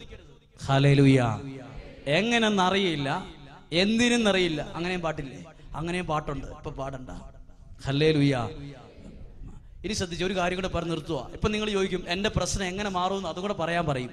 ഏലിയ പ്രവാചകന് ഭക്ഷണം കൊടുക്കാൻ ദൈവം തെരഞ്ഞെടുത്ത പക്ഷി ഏതാ കാക്ക നിങ്ങൾ ഉദ്ദേശിക്കുന്ന കാക്കയല്ല. ഇത് പറക്കുന്ന പക്ഷിയായ കാക്കയാണ്. കാക്ക ഈ കാക്കയോട് ഏലിയ പ്രവാചകന് ഭക്ഷണം കൊടുക്കാൻ ദൈവം പറയാണ്. കാക്കയോട് പറഞ്ഞു ഏലിയ പ്രവാചകൻ രാവിലെയും വൈകുന്നേരവും അപ്പം കൊടുക്കണം. കാക്കയ്ക്ക് കൃഷി ചെയ്യാൻ അറിയാവോ? കാക്കയ്ക്ക് അരി പൊടിക്കാൻ അറിയാവോ? കാക്കയ്ക്ക് ദോശക്കല്ല് വെച്ച് അപ്പം ചുട്ടെടുത്ത് മറിച്ച് വെച്ച് എടുത്ത് ഉണ്ടാക്കാൻ അറിയാവോ? ഇത് കൊണ്ടുപോയി കൊടുക്കാൻ കാക്കയ്ക്ക് എവിടെയാ കൈ? ആകെ ഒരു കറുത്ത ചുണ്ടേ ഉള്ളൂ. ഇതിനകത്തൊരു ചെറിയ അപ്പകൃഷ്ണ ഇരിക്കാനുള്ള സ്പേസേ ഉള്ളൂ. നമ്മൾ ഏലിയ പ്രവാചകനോട് പറയുക നിനക്ക് അപ്പം തരാൻ ഞാൻ കൽപ്പിച്ചിട്ടുണ്ടെന്ന്. അപ്പോൾ ഈ കൽപ്പിച്ചിട്ടുണ്ടെങ്കിൽ ഏലിയ പ്രവാചകന് നോർമൽ ആയിട്ട് ചോദിക്കാൽ ഈ പക്ഷി എങ്ങനെയാ കർത്താവ് ഇത് എനിക്ക് കൊണ്ടു തരിക ഇതെങ്ങനെ കൊണ്ടുവരും? ഏലിയ പ്രവാചകൻ ചോദിച്ചില്ല ഇത് എങ്ങനെയാ കർത്താവ് കാക്കയ്ക്ക് എനിക്ക് കൃഷി ചെയ്യാൻ അറിയാൻ പാടില്ലല്ലോ? കാക്കയ്ക്ക് അത് ഇങ്ങനെ അറിയാൻ പാടില്ലല്ലോ? അതറിയത്തില്ല ഇതറിയത്തില്ലല്ലോ എന്നൊക്കെ ചോദിക്കും. എങ്ങനെയെന്ന് ചോദിക്കരുത്? ബൈബിൾ വായിച്ചോ? ഏലിയ പ്രവാചകന് രാവിലെയും വൈകുന്നേരവും കാക്ക അപ്പം കൊണ്ടേ കൊടുത്തായിരുന്നു. ഹല്ലേ ലൂയ അതെങ്ങനെയായി ഒടിച്ചിട്ടുണ്ടാക്കിയതാണോ ദോശക്കല്ല് വച്ചിട്ടാണോ ഉണ്ടാക്കിയത്? അത് ചുട്ടാണോ? പുഴുങ്ങിയാണോ എടുത്തതെന്ന് അറിയാൻ പാടില്ല. ഇതാണ് ദൈവത്തിന്റെ പ്രത്യേകത. ചില വ്യക്തികൾ നമ്മളോട് പറയും നിങ്ങളുടെ പ്രശ്നങ്ങൾ മാറും കേട്ടോ. അപ്പൊ നമ്മുടെ ബുദ്ധി പറയും എങ്ങനെ? എങ്ങനെ മാറും അത്? എങ്ങനെ മാറുക? നമ്മുടെ ബുദ്ധി നമ്മളോട് വെല്ലുവിളിയാ. നമ്മുടെ ബുദ്ധി നമുക്ക് വെല്ലുവിളിയാ. രണ്ട് വാക്കുണ്ട്. ബുദ്ധിയുടെ വാക്കുകൊണ്ട് വിശ്വാസത്തിന്റെ വാക്കുകൊണ്ട്. നമ്മൾ കേൾക്കേണ്ടത് ബുദ്ധിയുടെ വാക്കല്ല വിശ്വാസത്തിന്റെ വാക്കാണ്. പറഞ്ഞു ഹല്ലേ ഒരു പ്രശ്നം വരുമ്പോ ഉണ്ടല്ലോ നമ്മുടെ ബുദ്ധി നമ്മളോട് പറയാം അത് ശരിയാകുകയല്ല കേട്ടോ. ആ കല്യാണം നടക്കുകയല്ല കേട്ടോ. അത് അങ്ങനെയല്ല കേട്ടോ. ഇതിങ്ങനെയാണ് തകരുവാണ്. എല്ലാം നമുക്ക് നിരാശയുടെ വാക്കുകൾ ബുദ്ധി നമ്മളോട് പറയുമ്പോൾ വിശ്വാസത്തിന്റെ വാക്ക് പറയും. അത് ശരിയാകും. ദൈവം നടത്തും. ദൈവം കൈപിടിച്ച് ഉയർത്തും. ദൈവം പ്രതിസന്ധിയിലൂടെ ഓടിക്കും. പറഞ്ഞേ ഹല്ലേ അതാ നമ്മൾ പാടുന്നത്. നമ്മൾ ആരും സ്വന്തം കഴിവ് കൊണ്ട് നിന്നതൊന്നുമല്ല. ദൈവം നമ്മളെ ഓരോ പ്രതിസന്ധിയിലും നിർത്തിയതാ. പത്രോശ്രീഹായെ വെള്ളത്തിന്റെ മുകളിൽ നിർത്തിയത് അത് ദൈവ ആ വെള്ളത്തിൽ. താഴ്ന്നു പോയത് അദ്ദേഹത്തിന്റെ ശക്തിയാ. അദ്ദേഹത്തിന്റെ ശക്തിയിൽ ആശ്രയിച്ചപ്പോ താഴ്ന്നു പോയി. ദൈവത്തിന്റെ ശക്തിയിൽ ആശ്രയിച്ചപ്പോ താഴ്ന്നു പോകാൻ സാധ്യതയുള്ള വെള്ളത്തിന്റെ മുകളിൽ നിന്നു. നിന്നതല്ല നാം. ദൈവം നമ്മെ നിർത്തിയതാണ്. ഹല്ലേലൂയ. ഒരു നിമിഷം നമ്മൾ പ്രാർത്ഥിക്കുന്നു. കണ്ണുകൾ അടച്ച്. ഈശോ പത്രോസ്ലീഹായെ വെള്ളത്തിന്റെ മുകളിൽ പിടിച്ചു നിർത്തിയില്ലേ? നമ്മൾ വിചാരിക്കും അത് അന്ന് മാത്രം നടന്ന ഒരൊറ്റ അത്ഭുതമാണ്. പിന്നീട് അങ്ങനത്തെ അത്ഭുതം ഈശോ ചെയ്തിട്ടില്ലെന്ന്.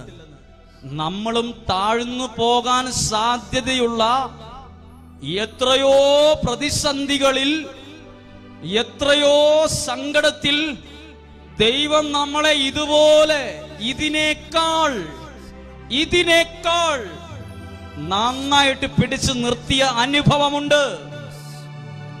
എത്രയോ ആളുകൾ ഇവിടെ വന്ന് പ്രാർത്ഥിച്ചിട്ടുണ്ടെന്നറിയോ? എന്റെ കൊച്ചിന്റെ കല്യാണം നടക്കുന്നത് എങ്ങനെയെന്ന് എനിക്ക് അറിയില്ല ഒരു പൈസ പോലും ഇല്ല കേട്ടോ. ഞങ്ങൾ ആകെ സങ്കടത്തിലാണ് പക്ഷെ പിന്നീട് ഒരു മാസം കഴിയുമ്പോൾ അല്ലെ രണ്ടു മാസം കഴിയുമ്പോൾ പറയും ദൈവം ഞങ്ങളെ സഹായിച്ചു. എന്താ എന്റെ അർത്ഥം? ഒരു പ്രതിസന്ധിയായിരുന്നു. അവിടെ ഒരു സങ്കടത്തോടെ താഴ്ന്നു പോകേണ്ട സാഹചര്യമായിരുന്നു. ദൈവം താഴ്ന്നു പോകാതെ പിടിച്ചു നിർത്തി. പ്രിയപ്പെട്ടവരെ ദൈവം പിടിച്ചു നിർത്തുമ്പോൾ ഒരു പ്രത്യേകതയുണ്ട്. പത്രോശ്രീഹ വെള്ളത്തിന്റെ മുകളിൽ നിന്നു എന്നാണ്. അപ്പോൾ പത്രോശ്രീഹായുടെ കാലിന്റെ അടിയിൽ ആ വെള്ളം നിന്നത്. കാൽപാദം മൂടിയല്ല വെള്ളം നിന്നത്. അതായത് ദൈവത്തിൽ ആശ്രയിച്ച് നമ്മൾ നിൽക്കുമ്പോ നമ്മുടെ എല്ലാ പ്രശ്നങ്ങളെയും ദൈവം നമ്മുടെ കാലിന്റെ അടിയിലാക്കും. നമ്മൾ അഭിമുഖീകരിക്കുന്ന സകല പ്രതിസന്ധികളും നമ്മുടെ കാലിന്റെ അടിയിലെ നിൽക്കുള്ളൂ. നമ്മളെ അത് മൂടിയല. പറഞ്ഞേ ഹല്ലേ ഒരു നിമിഷം നമുക്ക് എഴുന്നേറ്റ് നിൽക്കാം. നമ്മൾ എവിടെയാ താണുപോയെ അവിടെ ദൈവം ഉയർത്തും. നമ്മൾ എവിടെയാ പ്രതിസന്ധിയെ നേരിട്ടത്? അതിലേക്കൂടെ ദൈവം നടത്തും. ആ ഒരു വിശ്വാസത്തോടെ കണ്ണുകൾ അടച്ച് ഇതാ ഈ നിമിഷങ്ങളൊന്ന് പ്രാർത്ഥിക്കുകയാണ്. ഇതുപോലെ പ്രശ്നങ്ങളിലൂടെ കടന്നു പോകുന്ന ആരെങ്കിലും ഒക്കെ ഇവിടെ ഉണ്ടാകും. നിങ്ങളുടെ പ്രശ്നത്തിൽ ദൈവം പ്രശ്നം മാറ്റി ആയിരിക്കില്ല ശ്രദ്ധിച്ചേ. നമ്മൾ അഭിമുഖീകരിക്കുന്ന പ്രശ്നങ്ങൾ ഈ ഒരൊറ്റ സ്തുതിപ്പിലൂടെ മാറുമെന്ന് വിചാരിച്ച് മാത്രം ഇരിക്കരുത്. ചിലപ്പോൾ നമ്മുടെ ദൈവം കുറച്ചു നാൾ ആ പ്രതിസന്ധിയിലൂടെ നമ്മളെ നടത്തി എന്ന് വരും. എന്തിനെന്നറിയോ? നമ്മൾ ഒറ്റയ്ക്കല്ലെന്ന് നമ്മൾ അറിയാൻ നമ്മളെ കാണുന്നവർ അറിയണം. ചിലപ്പോൾ നമ്മളെ നോക്കിയിട്ട് പലരും പറഞ്ഞിട്ടുണ്ട് അവൻ അവൻ ആകെ തകർന്നു പോവുള്ളൂ കേട്ടോ. ചില കുടുംബത്തെ നോക്കിയിട്ട് പറഞ്ഞിട്ടുണ്ട് അവരുടെ കാര്യം എല്ലാം താറുമാറാ ബാങ്കിൽ നിന്ന് ഭയങ്കര കടവല്ലേ? ജപ്തിയല്ലേ ജപ്തി? ഞാൻ പറയാം ഒരു ഉദാഹരണം പറയാം. ഇവിടെ പ്രാർത്ഥിക്കാൻ വന്നുകൊണ്ടിരുന്ന ഒരാൾ വിഷവും മേടിച്ച് അദ്ദേഹത്തിന്റെ കാറിൽ ഊട്ടി പ്രദേശത്തേക്ക് പോയി. അതിനുശേഷം അവിടെ ഫോറസ്റ്റ് ഉള്ള സ്ഥലത്ത് വെച്ച് ഇയാൾ കാർ അവിടെ ലോക്ക് ചെയ്തു. അദ്ദേഹത്തിന്റെ അദ്ദേഹം ആ സ്റ്റീറിംഗിന്റെ അടുത്തുള്ള ഡോറിൽ അദ്ദേഹം ഒരു ചെറിയ ബൈബിൾ വെച്ചിട്ടുണ്ടായിരുന്നു. മൂന്ന് ദിവസം അതായത് ജപ്തിയുടെ മൂന്ന് ദിവസം മുമ്പ് മൂന്നേ മൂന്ന് ദിവസം മുമ്പ് അയാൾ മരണത്തെക്കുറിച്ച് ചിന്തിച്ചു. മരണത്തെക്കുറിച്ച് ചിന്തിച്ചു. ജപ്തിയുടെ മൂന്ന് ദിവസം മുമ്പ്. അതിനു മുമ്പ് ഒരാൾ വിചാരിച്ചു രക്ഷപ്പെടും മാറുന്നൊക്കെ വിചാരിച്ചു. അയാൾ മൂന്ന് ദിവസം മുമ്പ് അയാൾ പോയി. ആത്മഹത്യ ചെയ്യാൻ തീരുമാനിച്ച ആത്മഹത്യ മാത്രമേ ഇതിന് പരിഹാരമുള്ളൂ എന്ന് പറഞ്ഞു പോയി. ഒരു തമിഴ്നാട്ടുകാരൻ മലയാളം വായിക്കാൻ അറിയാത്തൊരു തമിഴ്നാട്ടുകാരൻ അതിലേ പോകുന്നത് ഈ മനുഷ്യൻ കണ്ടില്ല. ഇയാൾ കാറിൽ നിന്ന് വെപ്രാളത്തോടുകൂടി മരണത്തിലേക്ക് പോകാൻ വേണ്ടി മരിക്കാൻ വേണ്ടി കയ്യിൽ വിഷക്കുപ്പിയായിട്ട് പോകുമ്പോൾ ഇയാളുടെ കയ്യോ കാലോ തട്ടിയിട്ട് ആ ഡോറിന്റെ സൈഡിൽ ഇരുന്ന കുഞ്ഞു ബൈബിൾ താഴെ പോയി. ഇയാൾ കണ്ടില്ല. ഇയാൾ കാർ ഇറങ്ങി കാർ ലോക്ക് ചെയ്ത് കീശയിലിട്ട് ഇയാൾ ആ ഫോറസ്റ്റിൽ പോയി. എന്നെ ആരും അറിയരുത് ഞാൻ എവിടെയാണെന്ന്. ഞാൻ മരിച്ച് ചീഞ്ഞഴിഞ്ഞ് ഇവിടെ പോണം. ആരും അറിയാം. എന്റെ അസ്ഥി പോലും ആരും കാണരുതെന്ന് അറിഞ്ഞ് പോകുമ്പോ ഈ തമിഴ്നാട്ടുകാരൻ ഒരു തമിഴൻ ഒരു പാവപ്പെട്ട മനുഷ്യൻ ഇയാളുടെ കാറിന്റെ അകത്ത് ഒരു ബുക്ക് വീഴുന്നത് കണ്ടു. ഒരു പുസ്തകം വീഴുന്നത് കണ്ടിട്ട് കുറച്ചു സമയം ഇയാൾ അത് വരാതെ എടുക്കാൻ വരാതെ വന്നപ്പോ ഇയാൾ പോയി അത് എടുത്തു. മലയാളം വായിക്കാൻ അറിയില്ല. അയാൾ എടുത്തിട്ട് ഇയാൾ ഇതിലെയാണല്ലോ കയറിപ്പോയെന്ന് പറഞ്ഞ് ഈ തമിഴനും ഈ തമിഴനായി ഈ മനുഷ്യനും അതേ കാട്ടിലൂടെ കയറിപ്പോയി. എന്നിട്ട് അയാൾ അവിടെ ഒരു സ്ഥലത്ത് ഇരിക്കുന്നത് കണ്ട് നിങ്ങളുടെ കയ്യിൽ നിന്ന് ഒരു പുസ്തകം താണ് വീണുപോയി എന്നും പറഞ്ഞ് അയാൾ ഇത് കൊടുത്തു. അയാൾ അത്ഭുതപ്പെട്ടു. ഒരു മനുഷ്യനും അയാളെ കാണുന്നില്ല എന്ന് ചിന്തിച്ചു. ഇപ്പോൾ ഒരു പതിനഞ്ചോ ഇരുപതോ മിനിറ്റിനുള്ളിൽ വിഷം കഴിച്ച് മരിക്കാൻ സാധ്യതയുള്ള മനുഷ്യന്റെ അടുത്ത് അയാൾ ഒരു ബൈബിൾ കൊണ്ടുതന്നു അയാൾ എടുത്തു നോക്കിയപ്പോ കിട്ടിയത് ലൂക്ക ഒന്നെന്ന് പതിനേഴാണ്. മനുഷ്യർക്ക് അസാധ്യമായത് ദൈവത്തിന് സാധ്യമെന്നൊരു വചനം. അത് മടക്കി ചങ്കിനോട് ചേർത്ത് വെച്ചപ്പോൾ ഒരു വാക്ക് എടാ നിന്റെ കടമൊക്കെ മാറൂന്ന്. ആ ബൈബിളിലെ ദൈവം പറയുന്ന പോലെ മൂന്ന് ദിവസം മുമ്പ് അയാൾ ആത്മഹത്യ ചെയ്യാൻ തിരിച്ചു വന്ന് ഒരു ജപ്തിയും അയാൾക്കുണ്ടായില്ല അയാളെ ദൈവം കരുതി എവിടെ താണുപോയാലും മനുഷ്യൻ കൈക്ക് പിടിച്ചുയർത്തില്ല ദൈവം കൈക്ക് പിടിച്ചുയർത്തും ദൈവം സർവശക്തനാണ്. പറഞ്ഞേ ഹല്ലേ ലുയ്യാ ഹല്ലേ ലുയ്യാ ഒരു കരം ഉയർത്തി കണ്ണുകളടച്ച് ഞാൻ എവിടെയൊക്കെ താണുപോയെന്ന് വിചാരിച്ചാലും ഞാൻ ഏത് സങ്കടത്തിന്റെ പടുകുഴിയിലാണെന്ന് വിചാരിച്ചാലും ഞാൻ തളരില്ല. ഞാൻ വീണെടുത്ത് എന്റെ ദൈവം എന്നെ കൈക്ക് പിടിച്ച് ഉയർത്തും. എല്ലാവരും ചേർന്ന് സ്തുതിക്കുന്നു. ദൈവശക്തി നിറയാൻ ഹല്ലേലൂയ.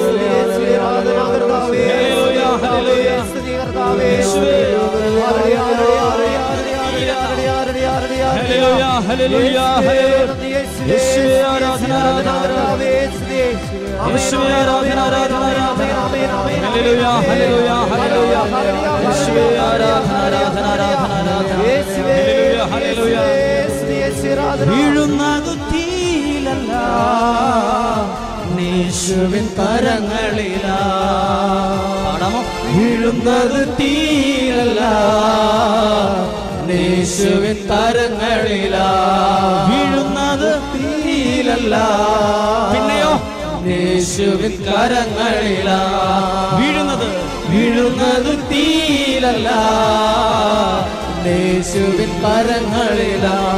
നിന്നതല്ല നാം ദൈവം നമ്മെ നിർത്തിയതാ നേടിയതല്ല. ദൈവമെല്ലാം തന്നതല്ലേ. നിന്നതല്ല ദൈവം നമ്മെ നിർത്തിയതാ നേടിയതല്ല. ദൈവമെല്ലാം തന്നതല്ലേ. വീഴുന്നത് തീരല്ല യേശുവിൻ കരങ്ങളില. വീഴുന്നത് തീരല്ല യേശുവിൻ കരങ്ങളില. കരങ്ങൾ കൂപ്പി കണ്ണുകളടച്ച് ദൈവം ഓരോ വ്യക്തികളെയും തൊടുന്ന സമയം ഒരു പ്രതിസന്ധിയിൽ പത്രോസിലേക്ക് താണുപോയപ്പോ ആ വള്ളത്തിനകത്തിരുന്ന് ഒരൊറ്റ ശിഷ്യന്മാര് ചാടി വീണില്ല. ചാടി വീണില്ല. അന്നേരെ ചാടി കയ്യിൽ പിടിച്ചത് ദൈവത്തിന്റെ കരമാണ്. ചില ആളുകൾ ചോദിക്കില്ല ഞാൻ എന്തിനാ ദൈവത്തിൽ ആശ്രയിക്കുന്നത് ദൈവത്തോടുള്ള ബന്ധത്തിൽ ദിനവും ഹാജരുണ്ടാവണം. ആബ്സെന്റ് ഉണ്ടാകാൻ പാടില്ല. ഇതാ ഈ നിമിഷങ്ങളിൽ നമ്മൾ പ്രാർത്ഥിക്കുകയാണ്. നമ്മൾ ആരും നിന്നതല്ല. ദൈവം നമ്മളെ നിർത്തിയതാണ്. എന്റെ ആരോഗ്യം ഞാൻ കഴിച്ച ഭക്ഷണത്തിന്റെ പ്രത്യേകതയല്ല. എന്റെ ദൈവം തന്ന ദാനമാണ്. എന്റെ ആയുസ് അതെന്റെ കഴിവുകൊണ്ട് ഞാൻ നേടിയതല്ല. ദൈവം തന്ന ദാനമാണ്. എന്റെ വീട് എനിക്ക് നല്ല വീടുണ്ട്. എന്റെ ജീവിത പങ്കാളി ഇതൊന്നും എന്റെ മഹത്വം അല്ല. ദൈവത്തിന്റെ ദാനമാണ്. യേശുവെ പോലെ സ്നേഹിക്കാൻ ആരുമില്ല. യേശുവെ പോലെ കരുതാനോ ആരുമില്ല. ചിലപ്പോ ചിന്തിക്കും യേശുവെ പോലെ സ്നേഹിക്കാൻ എനിക്ക് വേറെ ആളുണ്ട്. യേശുവെ പോലെ എന്റെ ജീവിതത്തെ കരുതാൻ ചില ആൾക്കാർ പറയില്ലേ? ചില ആളുകൾക്ക് അല്ലെങ്കിൽ ചില ചെറുപ്പക്കാർക്ക് പതിനേഴ് വയസ്സ് തൊട്ട് പത്തിരുപത്തിരണ്ട് വയസ്സ് വരെ തോന്നും ജീവിക്കുമ്പോൾ തോന്നും എന്നെ സ്നേഹിക്കുന്നത് അവനായിരിക്കും. എന്നെ കരുതുന്നത് അവളായിരിക്കും. എന്റെ ബോയ് ഫ്രണ്ട് ഉണ്ടല്ലോ അതെന്നെ ഭയങ്കര സ്നേഹിക്കും. എന്റെ ലൈഫ് ലോങ് എന്നെ കരുതും. എവിടെ കരുതും? കുറച്ച് നാളെ സ്നേഹിക്കും കുറച്ച് നാളെ കരുതുന്നുള്ളൂ. പക്ഷെ എന്റെ ദൈവമോ ലൈഫ് ലോ എന്റെ ജീവിതത്തിന്റെ മരണം വരെ എന്റെ അപ്പനും അമ്മയും ഉപേക്ഷിച്ച് എന്റെ മുഖത്ത് നോക്കി പറഞ്ഞാലും ദൈവം എന്നെ സ്നേഹിക്കുന്നത് ദൈവമാണ്. പ്രിയപ്പെട്ടവരെ കണ്ണുകൾ അടയ്ക്കാം. പ്രിയപ്പെട്ടവരെ പല ചെറുപ്പക്കാരും പല യുവതികളും യുവാക്കളും ദൈവത്തെക്കാൾ വലിയ ബന്ധം ബോയ് ഫ്രണ്ടിനും ഗേൾ ഫ്രണ്ടിനുമാണ് കൊടുക്കുന്നത്. ഇപ്പോൾ പതിനേഴ് വയസ്സ് ഇരുപത്തഞ്ച് വയസ്സ് വരെയുള്ള പ്രായം. ഏതെങ്കിലും ഒരു ബോയ് ഫ്രണ്ടിനോടോ ഗേൾ ഫ്രണ്ടിനോടോ ബന്ധം സ്ഥാപിക്കാനുള്ള സമയമല്ല. അത് ദൈവത്തോടുള്ള ബന്ധത്തിൽ ആഴപ്പെടാനുള്ള സമയമാണ്. എന്റെ പതിനേഴ് വയസ്സ് മുതൽ ഇരുപത്തഞ്ച് വയസ്സ് വരെയുള്ള പ്രായം നന്മയിൽ വളരാനുള്ള കാലമാണ്. എന്റെ പതിനേഴ് വയസ്സ് മുതൽ ഇരുപത്തഞ്ച് വയസ്സ് വരെയുള്ള കാലം അത് വിശുദ്ധിയിൽ വളരാനുള്ള കാലമാണ്. കാലം തെറ്റിദ്ധരിച്ചു പോയി. യേശുവെ പോലെ സ്നേഹിക്കാൻ ആരുമില്ല. അങ്ങനെ പറയാൻ പാട് പറ്റുന്നവരെ പാടാവുള്ളൂ. ഉള്ളിൽ ഒരു കള്ളത്തരം വെച്ച് പാടരുത്. യേശുവെ പോലെ സ്നേഹിക്കാൻ ആരുമില്ല. അതുകൊണ്ട് ഞാൻ എന്റെ ദൈവത്തെ ഏറ്റവും കൂടുതൽ സ്നേഹിക്കുന്നു. യേശുവേ പോലെ സ്നേഹിക്കാൻ ആരും ഇല്ല യേശുവേ പോലെ കരുതാൻ ആരും ഇല്ല ഒരിക്കൽ കൂടി യേശുവേ പോലെ സ്നേഹിക്കാൻ സ്നേഹിക്കാൻ ആരും ഇല്ല യേശുവേ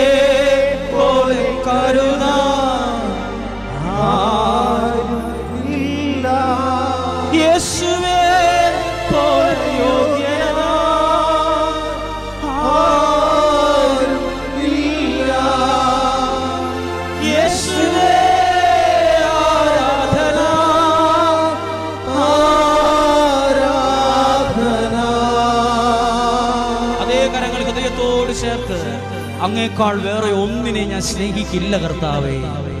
അങ്ങേക്കാ വേറെ ഒന്നിനെയും സ്നേഹിക്കില്ല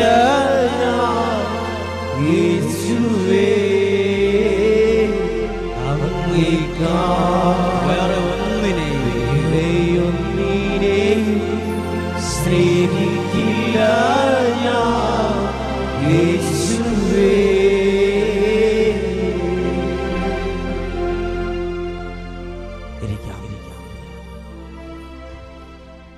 കുറച്ചു സാക്ഷ്യങ്ങൾ വേഗത്തിൽ വായിക്കുകയാണ്. പ്രധാനപ്പെട്ട ഒരു സാക്ഷ്യമാണ് പതിനഞ്ച് വർഷമായി പതിനഞ്ച് വർഷമായിട്ട് കുഞ്ഞുങ്ങളില്ലാതിരുന്ന ഒരു കുടുംബത്തിന് വേണ്ടി ഇവിടെ വന്ന് നിയോഗം എഴുതി കൊടുത്ത് കുർബാനയെ സമർപ്പിച്ചു പ്രാർത്ഥിച്ചു. ഗുണം കഴിഞ്ഞ വെള്ളിയാഴ്ചയാണ് ആൺകുഞ്ഞിന് ജന്മം നൽകിയത്. ഞാൻ സാക്ഷ്യം വായിക്കുന്നു എന്റെ പേര് ജോസഫ് മരക്കാശ്ശേരി ഞാൻ അമ്പലവയലിലാണ് താമസിക്കുന്നത്. എന്റെ മകൾ വിവാഹം കഴിഞ്ഞ് പതിനഞ്ച് വർഷമായിട്ടും മക്കളില്ലായിരുന്നു. ഒരുപാട് ചികിത്സകൾ നടത്തി. ഒരുപാട് പണവും ചെലവഴിച്ചു. എന്നിട്ടും ഒരു ഫലവും കണ്ടില്ല. ഞങ്ങൾ വളരെ വിഷമത്തിലായിരുന്നു. അങ്ങനെ ഞാൻ മകൾക്ക് ഒരു കുഞ്ഞുണ്ടാകാൻ വേണ്ടി അനുഗ്രഹ ധ്യാന കേന്ദ്രത്തിൽ വച്ച് നിയോഗം സമർപ്പിച്ച് പ്രാർത്ഥിച്ചു. മകളെയും കുടുംബത്തെയും കർത്താവിന് പൂർണമായി സമർപ്പിച്ചു. അതിന്റെ ഫലമായി പതിനഞ്ചു വർഷത്തിന് ശേഷം കഴിഞ്ഞ വെള്ളിയാഴ്ച എന്റെ മകൾ ഒരാൺകുട്ടിക്ക് ജന്മം നൽകി. അവർ വിദേശത്താണ്. ഞാൻ അവർക്ക് കുഞ്ഞുണ്ടാവുകയാണെങ്കിൽ ഇവിടെ വന്ന് അവരെ കൊണ്ട് സാക്ഷ്യം പറയാമെന്ന് നേർന്നിട്ടുണ്ട്. അവർ അവധിക്ക് വരുമ്പോൾ സാക്ഷ്യം പറയും. കർത്താവിന്റെ സന്നിധിയിൽ ഉടമ്പടി ചെയ്തിരിക്കുകയാണ് ഞങ്ങൾ. അവർ വരുമ്പോൾ സാക്ഷ്യം നൽകുന്നതായിരിക്കും. ഒരുപാട് സ്നേഹത്തോടെ ഇദ്ദേഹമാണ് അമ്പലവയലിൽ എം ജെ ഇലക്ട്രിക്കൽ ഷോപ്പ് നടത്തുന്ന കുടുംബമാണ്. അമ്പലവയലിൽ എം ജെ ഇലക്ട്രിക്കൽ ഷോപ്പ് അവരുടെ കുടുംബത്തിലാണ് ജോസഫ് ആ കുടുംബം പ്രാർത്ഥിച്ചിട്ട് പതിനഞ്ചു വർഷമായി കുഞ്ഞുങ്ങളില്ലാതിരുന്ന ഒരു വിഷയത്തിനോട് പ്രാർത്ഥിച്ച് ദൈവം ഇടപെട്ടത്. ഹല്ലേ ലുയ്യ എന്റെ പേര് രാജൻ ഞാൻ മൂലങ്കാവ് താമസിക്കുന്നു. എനിക്ക് തൈറോയിഡിന്റെ അസുഖമായിരുന്നു. ദശ വളരുന്ന ഈ ഒരു അവസ്ഥയിൽ വലിയ വേദനയും അസ്വസ്ഥതയുമായിരുന്നു. മാറ്റമുണ്ടാകാൻ മൂന്ന് നിയോഗങ്ങൾ എഴുതി സമർപ്പിക്കുന്ന അവസരത്തിൽ ഞാനും ഈ ഒരു രോഗസൗഖ്യത്തിന് വേണ്ടി നിയോഗം ഇതിനകത്ത് എഴുതിയിട്ടിരുന്നു. ടെസ്റ്റ് എടുത്ത് അയച്ചിരുന്ന അവസരത്തിലാണ് ഞാൻ നിയോഗം സമർപ്പിച്ചത്. ടെസ്റ്റിന്റെ റിസൾട്ട് വന്നപ്പോൾ യാതൊരു രോഗത്തിന്റെ ലക്ഷണം പോലും ഇല്ലെന്നാണ് ഡോക്ടർ പറയുന്നത്. അത്ഭുതകരമെന്ന് പറയട്ടെ എന്റെ ആ രോഗം എടുത്തു മാറ്റി എന്നെയും എന്റെ കുടുംബത്തെയും അനുഗ്രഹിച്ചതിനെ ഓർത്ത് ഞങ്ങൾ കുടുംബമായി നന്ദി പറയുന്നു. ഹല്ലേ എന്റെ പേര് മേരി. ഞാൻ റിപ്പൺ ഇടവകയിൽ താം ഇടവകയിലാണ് റിപ്പണിൽ താമസിക്കുന്നു. ഇവിടെ വന്ന് പ്രാർത്ഥിച്ചതിന്റെയും വെഞ്ചരിച്ച് പ്രാർത്ഥിച്ചു നൽകുന്ന എണ്ണ പുരട്ടുകയും നിയോഗത്തോടെ ഇവിടെ വന്ന് പ്രാർത്ഥിക്കുകയും ചെയ്തതിന്റെ ഫലമായി ദൈവം എന്റെ കാലിന്റെ വേദനയും ഭക്ഷണം കഴിക്കുമ്പോൾ വയറിന് നാളുകളായി ഉണ്ടായിരുന്ന എരിച്ചിലുണ്ടാകുന്ന അസുഖവും ദേഹമാസകലം വലിഞ്ഞ് ഉരുണ്ടു കയറുന്ന ഒരു പ്രത്യേക രോഗവും പൂർണമായും കർത്താവ് എടുത്തുമാറ്റി എന്നെ അനുഗ്രഹിച്ച സൗഖ്യദായകനായ ദൈവത്തിന് ഒരായിരം നന്ദി അർപ്പിക്കുന്നു. കൂടാതെ എന്റെ മകൻ വിദേശത്ത് പോകാനുള്ള എല്ലാ വഴികളും യാതൊരു സാമ്പത്തിക ബുദ്ധിമുട്ടുകളും ബാധ്യതകളും വരാതെ ദൈവം ക്രമീകരിച്ചു തന്നു. ഹല്ലേ ആ വാക്ക് ചുമ്മാ ഒരു സാക്ഷ്യം വായിക്കുന്നത് കേൾക്കരുത്. സാമ്പത്തികം ഒരു ബുദ്ധിമുട്ടും ബാധ്യതയും ഇല്ലാതെ ദൈവം ക്രമീകരിച്ച് തന്നു എന്ന് അതാണ് ദൈവത്തിന്റെ പ്രത്യേകത. നമ്മൾ വിചാരിക്കുന്ന പോലെ അല്ല ക്രമീകരിച്ച് എല്ലാ നന്മയ്ക്കായി പരിണമിപ്പിക്കുന്ന ദൈവത്തിന് ഈ ധ്യാന കേന്ദ്രത്തിലൂടെ ഒരായിരം നന്ദി. ഞങ്ങൾ ഒരുമിച്ച് അർപ്പിക്കുന്നു. കരങ്ങൾ അടിച്ച് ഒരുമിച്ച് സന്തോഷത്തോടെ പാടാം. തീർന്നിട്ടില്ല അടയാളങ്ങൾ തോന്നിട്ടില്ല കാലത്തിൽ ഈ ലോകത്തിൽ പാടാമോ? അത്ഭുതങ്ങൾ തീർന്നിട്ടില്ല അടയാളങ്ങൾ തോർന്നിട്ടില്ല കാലത്തിൽ ഈ ലോകത്തിൽ. എന്റെ പേര് ഞാൻ വേഗം വായിക്കുവാണ്. അമ്പത്തിരണ്ടായി പതിനൊന്ന് അമ്പത്തിരണ്ട്. എന്റെ പേര് ജീന ജോസ്. അനുഗ്രഹ ധ്യാന കേന്ദ്രത്തിലെ പ്രാർത്ഥനയിൽ പങ്കെടുത്തു പ്രാർത്ഥിച്ചു നിയോഗം സമർപ്പിച്ചു. എന്തിനെന്നറിയാമോ? ഒ ഇ ടി എക്സാം ഈ ഒ എ ടി എക്സാം എന്ന് കേൾക്കുമ്പോൾ ചിലർക്ക് തോന്നും ഒന്നാം ക്ലാസ്സിലെ പരീക്ഷ പോലെയാണ്. ഭയങ്കര ബുദ്ധിമുട്ടുള്ള ഭയങ്കര പ്രയാസമുള്ള ഒരു പരീക്ഷ പാസ്സാകാൻ വലിയ പാടാണ്. അപ്പൊ ഈ പരീക്ഷ എന്ന് കേൾക്കുമ്പോൾ നമ്മൾ വിചാരിക്കും സാധാരണ ഒരു പരീക്ഷയാണെന്ന് ചിന്തിക്കരുത്. ഒ ഇ ടി പരീക്ഷയിൽ നല്ല വിജയം നൽകാൻ പ്രാർത്ഥിച്ചിരുന്നു. ഞങ്ങൾക്ക് നല്ലൊരു വിജയം നൽകി കർത്താവ് എന്നെ അനുഗ്രഹിച്ചു. വിജയം നൽകുന്ന ദൈവത്തിന് അനുഗ്രഹ ധ്യാന കേന്ദ്രത്തിനും ഒരായിരം നന്ദി ഞങ്ങൾ അർപ്പിക്കുന്നു. ഹല്ലേ ലുയാ. എന്റെ പേര് എൽസി. ഞാൻ നെടുമ്പാല ഇടവകക്കാരിയാണ്. പുറ്റാടാണ് താമസിക്കുന്നത്. ഞങ്ങളുടെ പശു പ്രസവിച്ചപ്പോൾ പശുക്കുട്ടിയുടെ കാലും മടങ്ങിയതായും എഴുന്നേറ്റ് നിൽക്കാൻ കഴിയാത്ത ഒരു വിധത്തിലുമായിരുന്നു. ഇവിടെ വന്ന് പ്രാർത്ഥിച്ചു തരുന്ന എണ്ണ ആ പശുക്കുട്ടിയുടെ കാലിൽ പുരട്ടി പ്രാർത്ഥിച്ചു ഞങ്ങൾ വിശ്വാസത്തോടെയാണ് പ്രാർത്ഥിച്ചത്. അത്ഭുതമെന്ന് പറയട്ടെ ആ പശുക്കുട്ടിയുടെ കാലം നുവരില്ല എന്ന് പറഞ്ഞ സാഹചര്യത്തിൽ അത് നിവരുകയും പാൽ കുടിക്കുകയും ഓടി നടക്കുകയും ചെയ്യുന്നു. ഞങ്ങളുടെ കുടുംബത്തെ സംബന്ധിച്ച് പശു ഒരു നല്ല വരുമാന മാർഗമാണ്. ഞങ്ങൾക്ക് ദൈവം ഒരു അത്ഭുതകരം അത്ഭുതം കാണിച്ചു തന്നു എന്ന് വിശ്വസിക്കുന്നു. ദൈവത്തിന്റെ അത്ഭുതകരമായ ഒരു ഇടപെടലിന് ഞങ്ങൾ നന്ദി അർപ്പിക്കുന്നു. ഹല്ലേ ലുയ്യ. ഒരു സാക്ഷ്യം കൂടെ പറഞ്ഞിട്ട് പാടാം. എന്റെ പേര് റീന. ആരംപുളിക്കൽ പുൽപ്പള്ളിയിൽ താമസിക്കുന്നു. എന്റെ ഭർത്താവിന് ജോർജ് ഡെങ്കിപ്പനി മൂലം കൗണ്ട് കുറഞ്ഞു പോവുകയും ഹോസ്പിറ്റലിൽ അഡ്മിറ്റ് ആവുകയും ചെയ്തു. അപ്പോൾ മാത്യു അച്ഛനെ വിളിച്ച് പ്രാർത്ഥനാ സഹായം ആവശ്യപ്പെട്ടു. എത്രയും പെട്ടെന്ന് സുഖം പ്രാപിക്കുമെന്ന് ഈശോയുടെ ഒരു വാക്ക് അച്ഛന്റെ ആശ്വാസ വാക്ക് ഞങ്ങൾക്ക് ധൈര്യം നൽകി. അച്ഛന്റെയും പ്രാർത്ഥനയുടെയും ഫലമായി പ്രാർത്ഥനയുടെ ഫലമായി പെട്ടെന്ന് കൗണ്ട് നോർമൽ ആവുകയും ആശുപത്രിയിൽ നിന്ന് ഡിസ്ചാർജ് ആവുകയും ചെയ്തു. ദൈവത്തിന് ഒരായിരം നന്ദി അർപ്പിക്കുന്നു. അനുഗ്രഹ പ്രയർ ഗ്രൂപ്പിന് നന്ദി അർപ്പിക്കുന്നു. കൂടാതെ ഇവിടെ വന്ന് പ്രാർത്ഥിച്ചതിന്റെ ഫലമായി ഞങ്ങളുടെ പുതിയ വീടിന്റെ ലോൺ സംബന്ധമായ എല്ലാ കാര്യങ്ങളും വളരെ നന്നായി ദൈവം ക്രമപ്പെടുത്തി. മാത്രമല്ല രജിസ്ട്രേഷൻ നടത്താനുള്ള അനുഗ്രഹവും നൽകി തടസ്സപ്പെട്ട് കിടക്കുകയായിരുന്നു. ദൈവം ഇടപെട്ടു. കരങ്ങൾ അടിച്ച് കരങ്ങൾ ഉയർത്തി അടിച്ച് ഒരുമിച്ച് പാടാം. എത്രത്തോളം ജയം തന്ന ദൈവത്തിന് സ്തോത്രം. ഇതുവരെ കരുതിയ രക്ഷകൻ സ്തോത്രം. ഇനിയും കൃപതോനി കരുതിടണേ. ഇനിയും നടത്തണ തിരുഹിതം പോ. ഹല്ലേലൂയ. എന്റെ പേര് ബിബിൻ ഞാൻ ഇവിടെ വന്ന് മൂന്ന് വെള്ളിയാഴ്ച നിയോഗം വെച്ച് പ്രാർത്ഥിച്ചതിന്റെ ഫലമായിട്ടാണ് എനിക്ക് ഒമ്പത് എ പ്ലസും ഒരു എയും നൽകി. പരീക്ഷയിൽ ഒരു വിജയം നൽകാൻ ദൈവം ഇടവരുത്തിയത് ഞാൻ ദൈവത്തിന്റെ ശക്തിയിൽ ഇവിടെ വന്ന് ആശ്രയിച്ചതിലൂടെയാണ്. എനിക്ക് ഈ വിജയം നൽകിയത് എന്റെ കഴിവിലല്ല എന്ന് ഞാൻ വിശ്വസിക്കുന്നു. കൂടാതെ സെമിനാരിയിൽ ചേർന്ന് പഠിക്കാനും ദൈവം എന്നെ അനുഗ്രഹിച്ചു. നല്ലവനായ കർത്താവിന് ഒരായിരം നന്ദി ഞാൻ അർപ്പിക്കുന്നു. എന്റെ പേര് ലിസി ജേക്കബ്. വെള്ളപ്പൊക്ക സമയത്ത് ഞങ്ങളുടെ പശു തൊഴുത്തിൽ തെന്നി വീണ് എഴുന്നേൽക്കാൻ പറ്റാതായി പോയി. ഈ സമയത്ത് ഡോക്ടറുടെ സേവനമൊന്നും ലഭ്യമായിരുന്നില്ല. അതുകൊണ്ട് അനുഗ്രഹ ധ്യാന കേന്ദ്രത്തിൽ നിന്നും വെഞ്ചരിച്ച് നൽകിയ എണ്ണ വിശ്വാസത്തോടെ വീണുപോയ പശുവിന്റെ ദേഹത്ത് പുരട്ടി പ്രാർത്ഥിച്ചു.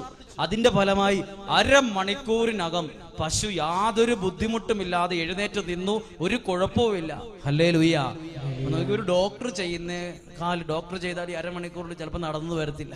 അപ്പൊ നോക്കി നമ്മളിവിടെ പ്രാർത്ഥിച്ച് നൽകുന്ന എണ്ണയ്ക്ക് ഇത്രയും ശക്തി ഉണ്ടെന്ന് നമുക്ക് പോലും ചിലപ്പോൾ വിശ്വാസമാകത്തില്ല. അപ്പൊ നോക്കി ദൈവത്തിന്റെ ശക്തിയും ദൈവത്തിന്റെ കരവുമാണ് അതിലൂടെ ബലം നമുക്ക് മനസ്സിലാകുന്നത് ഒന്നുകൂടെ കൈയടിച്ച് പാടിയാലോ? മഹത്വം ദൈവത്തിന് സ്തുതികൾക്ക്. സ്തുതികൾക്ക് യോഗ്യനവൻ അത്ഭുതങ്ങൾ ചെയ്യുന്ന അടയാളങ്ങൾ നൽകുന്ന എന്നേശുനാഥന്. പാടിടാം വാഴ്ത്തിടാം യേശുവിനെ. ഹല്ലേലൂയ പാടിടാം വാഴ്ത്തിടാം യേശുവിനെ. സ്തുതികൾക്കു യോഗ്യനവൻ എല്ലാ മഹത്വവും കർത്താവിന്. എന്റെ പേര് സൗദാമിനി. ഞാൻ ചീങ്ങവല്ലം ആണ് താമസിക്കുന്നത്. മൂന്ന് വർഷമായി എന്റെ മകൾ പിണങ്ങി വീട്ടിൽ നിന്ന് മാറി നിൽക്കുകയായിരുന്നു. മകളുമായി രമ്യപ്പെടാൻ ഏഴു വെള്ളിയാഴ്ചയാണെന്ന് ഞാൻ നിയോഗം വെച്ച് പ്രാർത്ഥിക്കാമെന്ന് മനസ്സുകൊണ്ട് നേർന്നത്. വളരെ വലിയൊരു അത്ഭുതം പലരും പറഞ്ഞിട്ടൊന്നും അടുക്കാത്തൊരാൾ. അതിന്റെ ഫലമായി മകളുടെ പിണക്കം മാറുകയും വീട്ടിലേക്ക് വന്ന് താമസിക്കുകയും ചെയ്തു. ഞങ്ങളെ സംബന്ധിച്ച് ഇത് യേശുവിന്റെ വലിയൊരു പ്രവൃത്തിയാണ്. ഞങ്ങൾ ഒരായിരം കോടി യേശുവിന് നന്ദി അർപ്പിക്കുന്നു. ഹല്ലേ എന്റെ പേര് ഗ്രേസി. ഞാൻ കടൽമാടാണ് താമസിക്കുന്നത്. ഞാൻ ഇവിടെ വന്ന് സ്ഥിരമായി പ്രാർത്ഥിക്കുന്ന ഒരു വ്യക്തിയാണ്. എന്റെ വീട്ടിൽ പശുവിന് ഒരു രോഗം പിടിപെട്ടു. കുളമ്പ് രോഗം. അത് കൂടുതലായി. ഡോക്ടറെ കാണിച്ചപ്പോൾ വളരെ കൂടുതലാണെന്നും ഇനി രക്ഷയില്ല എന്നും പറഞ്ഞു. എന്റെ ഭർത്താവ് ഇവിടെ വന്ന് പ്രാർത്ഥിച്ചു. ഇവിടെ വന്ന് പ്രാർത്ഥിച്ചതിന്റെ ഫലമായി ഇവിടെ നിന്ന് തലയിൽ കൈവച്ച് പ്രാർത്ഥിച്ച് നൽകിയ എണ്ണ പശുവിന് തേച്ച് പ്രാർത്ഥിച്ചു. അതിന്റെ ഫലമായി പത്ത് ദിവസം പുല്ലും വെള്ളവും കഴിക്കാതിരുന്ന പശു സുഖപ്പെടുകയും ആരോഗ്യമുള്ള ഒരു കിടാവിനെ പ്രസവിക്കുകയും ചെയ്തു. ഞങ്ങളുടെ ഓരോ നിമിഷവും ഇത് കേൾക്കുന്നവർക്ക് നിസ്സാരമായി ചെറുതായിട്ട് തോന്നാം. എന്നാലും ഞങ്ങളെ സംബന്ധിച്ച് ഇതേറെ ദൈവത്തിന് അത്ഭുതം കണ്ട ഒരു സമയമാണ്. ഓരോ നിമിഷവും അനുഗ്രഹിച്ചുകൊണ്ടിരിക്കുന്ന കർത്താവിന് ഞങ്ങൾ കുടുംബമായി സന്തോഷത്തോടെ നന്ദി അർപ്പിക്കുന്നു. ഹല്ലേ എന്റെ പേര് ജോസഫ്. ഞാൻ ഒന്നിയാറത്താണ് താമസിക്കുന്നത് തോമാട്ടുചാൽ. എനിക്കും എന്റെ കുടുംബത്തിനും വളരെ കാലമായി ഉണ്ടായിരുന്ന ഒരാഗ്രഹമായിരുന്നു നല്ലൊരു വീടുണ്ടാകണം എന്നുള്ളത്. നല്ലൊരു വീട് ഒരുക്കി തരണമേ എന്നുള്ള നിയോഗം വെച്ച് ഞങ്ങൾ ഇവിടെ വന്ന് പ്രാർത്ഥിക്കാൻ തുടങ്ങി. ഒരു വീടുണ്ടാകാൻ വേണ്ടി പ്രാർത്ഥിക്കാൻ തുടങ്ങി. അങ്ങനെ ഇവിടെ വന്ന് പ്രാർത്ഥിച്ചതിന്റെ ഫലമെന്ന് പറയട്ടെ ആരാധനയ്ക്കിടയിൽ ഒരു ഭവനം കർത്താവ് ഏറ്റെടുത്ത് നടത്തുന്നു എന്ന് മാത്യുവച്ചൻ ഒരു മെസ്സേജ് പറഞ്ഞു. അത് ഞങ്ങളുടെ ഭവനമായിരുന്നു എന്നാണ് ഞങ്ങളുടെ വിശ്വാസം. ഞങ്ങൾ അതങ്ങ് ഏറ്റെടുത്തു. യാതൊരു ആപത്തും കൂടാതെ ആവശ്യ സമയത്ത് വേണ്ട സാമ്പത്തികം ഒക്കെ നൽകി ഒരു വർഷത്തിനുള്ളിൽ എല്ലാ പണിയും പൂർത്തിയായ ഒരു നല്ല ഭവനം കർത്താവ് ഞങ്ങൾക്കായി ഒരുക്കി തന്നു. എന്നെയും എന്റെ കുടുംബത്തെയും ഏറ്റെടുത്ത് അനുഗ്രഹിച്ചുകൊണ്ടിരിക്കുന്ന ഈശോയ്ക്ക് ഒരായിരം നന്ദി. ഹല്ലേ ലൂയാ നോക്കി ഞാൻ ഇങ്ങനെ ചിന്തിച്ചു എന്നോട് ചില ആൾക്കാർ വന്ന് പറയാറുണ്ട് അച്ഛൻ ഇന്നാൾ പറഞ്ഞല്ലോ ഞങ്ങൾക്കൊരു വീട് ശരിയാകുമെന്ന്. ഞാൻ അന്നേരം ചിന്തിക്കും ഞാൻ ഇവരോട് പറഞ്ഞിട്ടില്ലല്ലോ. ഞാൻ പറയാത്ത കാര്യം ഇവരെങ്ങനെ കേട്ടെ? ഞാൻ ഒത്തിരി ആളുകൾ എന്നോട് പറയാറുണ്ട്. അച്ഛൻ ഇന്നാൾ പറഞ്ഞില്ലായിരുന്നു. ഞാൻ വിചാരിച്ച് ഞാൻ പറയാത്ത കാര്യം ഇവർക്ക് തോന്നിയതായിരിക്കും. ഞാൻ ദൈവത്തോട് ചോദിച്ചു ഞാൻ പറയാത്ത കാര്യം ഇവരെങ്ങനെ കേട്ടെ? അപ്പൊ അതിന് എനിക്ക് ഉത്തരം കിട്ടി. ശരിക്കും ചില ആളുകൾക്ക് വേണ്ടി പ്രാർത്ഥിക്കുമ്പോൾ നമ്മൾ അറിയുന്നില്ല നമ്മളിലൂടെ ദൈവം അവരോട് പറയുന്നത് പിന്നെ നമ്മൾ അവർ നാളെ രണ്ടു ദിവസം കഴിഞ്ഞല്ല ഒരു മാസം കഴിഞ്ഞ് പറയുമോ അച്ഛൻ നാളെ പ്രാർത്ഥിച്ചിട്ട് പറഞ്ഞു. നമ്മളത് പറഞ്ഞതായിട്ട് പോലും ഓർക്കത്തില്ല. അപ്പൊ അതാ ദൈവം അതാണ് ദൈവം നമ്മുടെ മനുഷ്യന്റെ സ്ഥലമല്ല. അപ്പൊ ഞാൻ പറഞ്ഞു എന്ന് പറയുമ്പോൾ നിങ്ങൾ ആരും ചിന്തിക്കരുത് എന്റെ ഒരു കഴിവല്ല. എന്നിലൂടെ ദൈവം പ്രവർത്തിക്കുന്ന ഒരു അടയാളമായി മാത്രം അതിനെ കാണണമെന്ന് ഓർമ്മിക്കണം അതാണ് ദൈവത്തിന്റെ പ്രവൃത്തി. പറഞ്ഞു ഹല്ലേ ഒരേ ഒരു സാക്ഷ്യം കൂടി. എന്റെ പേര് സോണി ബിജു. ഞങ്ങളുടെ മകൾ ജയിൻ കഴിഞ്ഞ തിങ്കളാഴ്ച കട്ടിലിൽ നിന്ന് വീഴുകയും നിൽക്കാതെ ഛർദി അങ്ങ് തുടങ്ങുകയും ചെയ്തു. കട്ടിലിൽ നിന്ന് താഴെ വീണ് ഛർദി തുടങ്ങി. ഹോസ്പിറ്റലിൽ കാണിക്കുകയും ചെയ്തു. മരുന്ന് കൊടുത്തിട്ടും ഛർദി കുറയാതെ വന്നപ്പോൾ ഡോക്ടർ വേറെ എവിടെയെങ്കിലും കൊണ്ടുപോകും വേഗം എന്ന് പറഞ്ഞു. സ്കാൻ ചെയ്ത് നോക്കണമെന്ന് പറഞ്ഞു. ഞങ്ങൾ മാതാവിനോട് പ്രാർത്ഥിച്ച് വീട്ടിലേക്ക് കൊണ്ടുപോകുന്നു ആശുപത്രിയിലേക്ക് കൊണ്ടുപോകാനാ പറഞ്ഞത്? വീട്ടിലേക്ക് കൊണ്ടുവന്നു. ഇവിടെ നിന്ന് പ്രാർത്ഥിച്ചു നൽകി എണ്ണയും തലയിൽ തേക്കുകയും ഇച്ചിരി കുടിക്കാൻ കൊടുക്കുകയും ചെയ്തു. കുറച്ചു കഴിഞ്ഞപ്പോൾ തന്നെ മോളുടെ മകളുടെ ക്ഷീണമൊക്കെ അങ്ങ് പെട്ടെന്ന് മാറി ഛർദി നിൽക്കുകയും ഇപ്പോൾ ഒരു ആരോഗ്യ പ്രശ്നവും ഇല്ല. ഞങ്ങളുടെ മോളെ സുഖപ്പെടുത്തിയ ഈശോയ്ക്കും മാതാവിനും അനുഗ്രഹ ധ്യാന കേന്ദ്രത്തിൽ എല്ലാവർക്കും നന്ദി പറയുന്നു. സോണി ബിജു അമ്പലവയൽ. ഹല്ലേ ഡോക്ടർ പറഞ്ഞു ഉടനെ ആശുപത്രി കൊണ്ടുപോയി സ്കാൻ ചെയ്യണം. അവർ നേരെ കൊണ്ടുപോയി ഇവിടുന്ന് ലഭിച്ച കുഞ്ഞൊരു എണ്ണ ഇച്ചിരി കൊടുത്തു. നമ്മുടെ വിശ്വാസത്തിന്റെ ശക്തി നോക്ക്. പറഞ്ഞു ഹല്ലേ ലൂയ അതുകൊണ്ടാണ് നമ്മൾ പാടുന്നത്. വീഴുന്നത് തീയിലാണേലും നമുക്ക് പൊള്ളലേക്കിയല എന്താ കാരണം? നമ്മുടെ തൊലിയുടെ പ്രത്യേകതയല്ല. നമ്മളെ പൊതിഞ്ഞു പിടിച്ചിരിക്കുന്ന ദൈവത്തിന്റെ കരത്തിന്റെ പ്രത്യേകതയാണത്. ഹല്ലേ ലൂയ വീഴുന്നത് തീയിലല്ല. യേശുവിൻ കരങ്ങളിലാ. സത്യം. വീഴുന്നത് തീരല്ല. യേശുവിൻ കരങ്ങളില. ഒരു സാക്ഷ്യം പറയാൻ ഒരാൾ പറഞ്ഞായിരുന്നു ഉണ്ടോ ആ സാക്ഷ്യങ്ങൾ കേൾക്കേണ്ട സാക്ഷ്യം അമ്മച്ചി എന്ത്? ആ അമ്മച്ചി സാക്ഷ്യം രണ്ട് മിനിറ്റ് കൊണ്ട് പറയുമോ രണ്ട് മിനിറ്റ് കൊണ്ട് പറയാളൂ. ആ ആ ചേച്ചി അമ്മച്ചിയുടെ മോനുണ്ടോ ഇവിടെ ഉണ്ടോ താഴെയാ. ഒന്ന് വിളിച്ചേ. ഈ സാക്ഷി നിങ്ങൾ കേൾക്കണം. അമ്മച്ചിയുടെ വീട് പനഞ്ചിറയാണ്. മകന് വേണ്ടിയാണ് ഈ സാക്ഷ്യം പറയുന്നത്. ഞാൻ അവനോട് പറഞ്ഞായിരുന്നു നിനക്ക് സാക്ഷ്യം പറയാൻ ധൈര്യം ഉണ്ടല്ലേ പറയാവുള്ളൂ. കാരണം അവനിവിടെ ധ്യാനം കൂടി അവന്റെ രണ്ട് കൂട്ടുകാരെയും ചുള്ളിയോടുന്നും വടുവഞ്ചാലിൽ നിന്നും കഞ്ചാവ് പിടിച്ചിട്ട് ജയിലിലാണ്. ഒന്ന് തമിഴ്നാട്ടിൽ ജയിലിലും ഒന്ന് കണ്ണൂർ സെൻട്രൽ ജയിലിലുമാണ്. അവൻ ആ ഒരു ധ്യാനത്തിലൂടെ പ്രാർത്ഥിച്ച് ഭയങ്കര സാക്ഷ്യം. അത്ഭുത സാക്ഷ്യം. ഇതൊക്കെയാണ് സാക്ഷ്യം. ഇതിനേക്കാൾ വലിയ സാക്ഷ്യമാണ് ഈ കേൾക്കാൻ പോകുന്നത്. എന്റെ പേര് ലൈസ എന്നാണ്.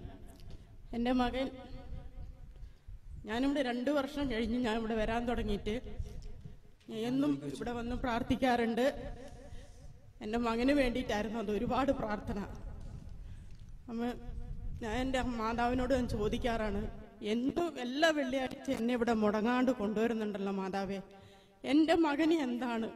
ഇവിടെ എത്തിക്കാത്തതെന്ന് ഒരു ചോദ്യം ഞാൻ ചോദിക്കാറുള്ളൂ. ഞാൻ പല ആളോടും ഇവിടെ ഞാൻ സാക്ഷി എല്ലാവരോടും ഞാൻ പറഞ്ഞിട്ടുണ്ട് എന്റെ മകന് വേണ്ടി പ്രാർത്ഥിക്കണം. എനിക്ക് ഒരുപാട് പ്രാർത്ഥിക്കാനൊന്നും അറിയില്ല. എന്നാലും ഞാൻ പ്രാർത്ഥിക്കാറുണ്ട്. എന്നും എന്റെ ഒരു ചോദ്യമാണ് അത് എന്റെ അമ്മേന്റെ അടുത്ത് വന്നിട്ട്. എന്റെ മകൻ ഇവിടെ എത്തിക്കണമേ എന്നൊരു പ്രാർത്ഥന. അങ്ങനെ ഇവൻ രണ്ട് മൂന്ന് പ്രാവശ്യമായിട്ട് എന്റെ മുമ്പിൽ ബൈക്ക് ഓടിച്ചു വന്നിട്ട് വീട് അവന് പൊട്ടിയും പൊളിഞ്ഞ റോഡിന്റെ അകത്തൂടെ ഇവന് ബൈക്ക് ഓടിച്ചു വരുമ്പോൾ ഒന്നും സംഭവി സംഭവിക്കാറില്ല. പക്ഷെ വീട് എത്തി ഗേറ്റിന്റെ അടുത്ത് എത്തുമ്പോഴത്തേനും ബൈക്ക് സ്റ്റാൻഡേൽ ഇട്ട് കഴിഞ്ഞാൽ ഇവൻ ബൈക്ക് വീഴും.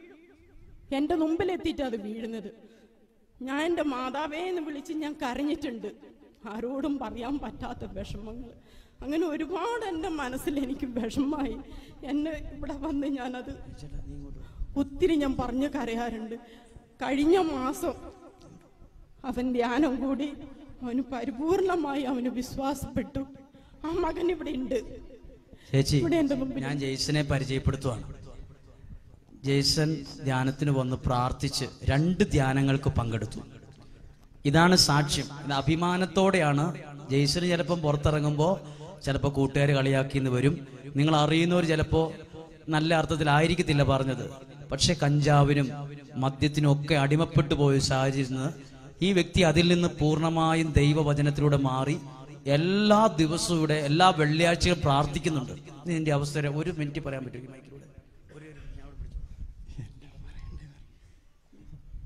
എല്ലാവർക്കും സ്തുതി. ദൈവത്തിന് നന്ദി. എന്നാ പറയേണ്ടത് എനിക്കറിയാല. വളരെ സുഖമുണ്ട്. നല്ല ധ്യാനത്തിന് സാക്ഷ്യം പറഞ്ഞു. സാക്ഷ്യമുള്ള ഒരു ജീവിതം. നമുക്ക് ഒരു നിമിഷം ഒന്ന് സന്തോഷത്തോടെ ഒന്ന് കണ്ണുകളടച്ച് ദൈവത്തെ സമർപ്പിച്ച് പ്രാർത്ഥിക്കുക. ഇത്രയും ചെറുപ്പം ഇവന്റെ കുടുംബത്തിന് ഒരു ആൺകൊച്ചാണ്. ശരിക്കും ഇവൻ ചെറുപ്പക്കാരനാണ്. ഒരു ഇവനിലൂടെ ഒരു കുടുംബം മുഴുവൻ രക്ഷപ്പെടുന്നത്. ശരിക്കും ഇതൊരു മാറ്റമാണ് അത്ഭുതമാണ്. ഇവന്റെ പഴയ ജീവിതം അല്ല. അത് പറയുന്ന ഒരു കളിയാക്കായിട്ടോ നാണക്കേടായിട്ടോ അൽത്താരയിൽ ഇവിടെ കയറ്റി കുർബാന ചെല്ലുന്ന സ്ഥലത്ത് ഇവനെ നിർത്തണമെങ്കിൽ ഒരു ചെറിയ കാര്യമല്ല നിങ്ങൾ വിശ്വസിച്ചോ? ഇത് വലിയ അത്ഭുതമാണ്. ഒരുപാട് ചെറുപ്പക്കാർക്ക് ഇതൊരു മാതൃകയാകട്ടെ എന്ന് പ്രാർത്ഥിക്കുന്നു. ഒരു കൂട്ടുകാരനും അല്ല ഇവിടെ എത്തിച്ചേ. അതാണ് ദൈവത്തിന്റെ ശക്തി. ഒരു മരിച്ച ഒരാൾ എഴുന്നേക്കുന്നേക്കാൾ വലുത് സൗഖ്യ സാക്ഷ്യമാണ്. ഈ വ്യക്തിയുടെ കൂട്ടുകെട്ട് മാറി ജീവിതം മാറി. പിന്നെ കൂടെയുള്ളവർ പലരും പല കേസിലും ജയിലിലാണ്. അടിക്കടി ഗുണ്ടയായിട്ടും ആളെ തല്ലാൻ ഒരാളെ തല്ലണമെന്ന് പറഞ്ഞാൽ ചാടി അടിക്കണ ആളായിരുന്നു. ഇപ്പം അടിക്കൊന്നുമില്ല. വളരെ മിടുക്കനായി അനുഗ്രഹ ധ്യാന കേന്ദ്രത്തിന്റെ ഒരു മിടുമിടുക്കനായവനെ മാറ്റി. ഒരു നിമിഷം കരങ്ങൾ ഉയർത്തി ഇദ്ദേഹത്തെ നന്ദിയോടെ ഒന്ന് സ്തുതിച്ച് പ്രാർത്ഥിക്കുന്നു. Hallelujah hallelujah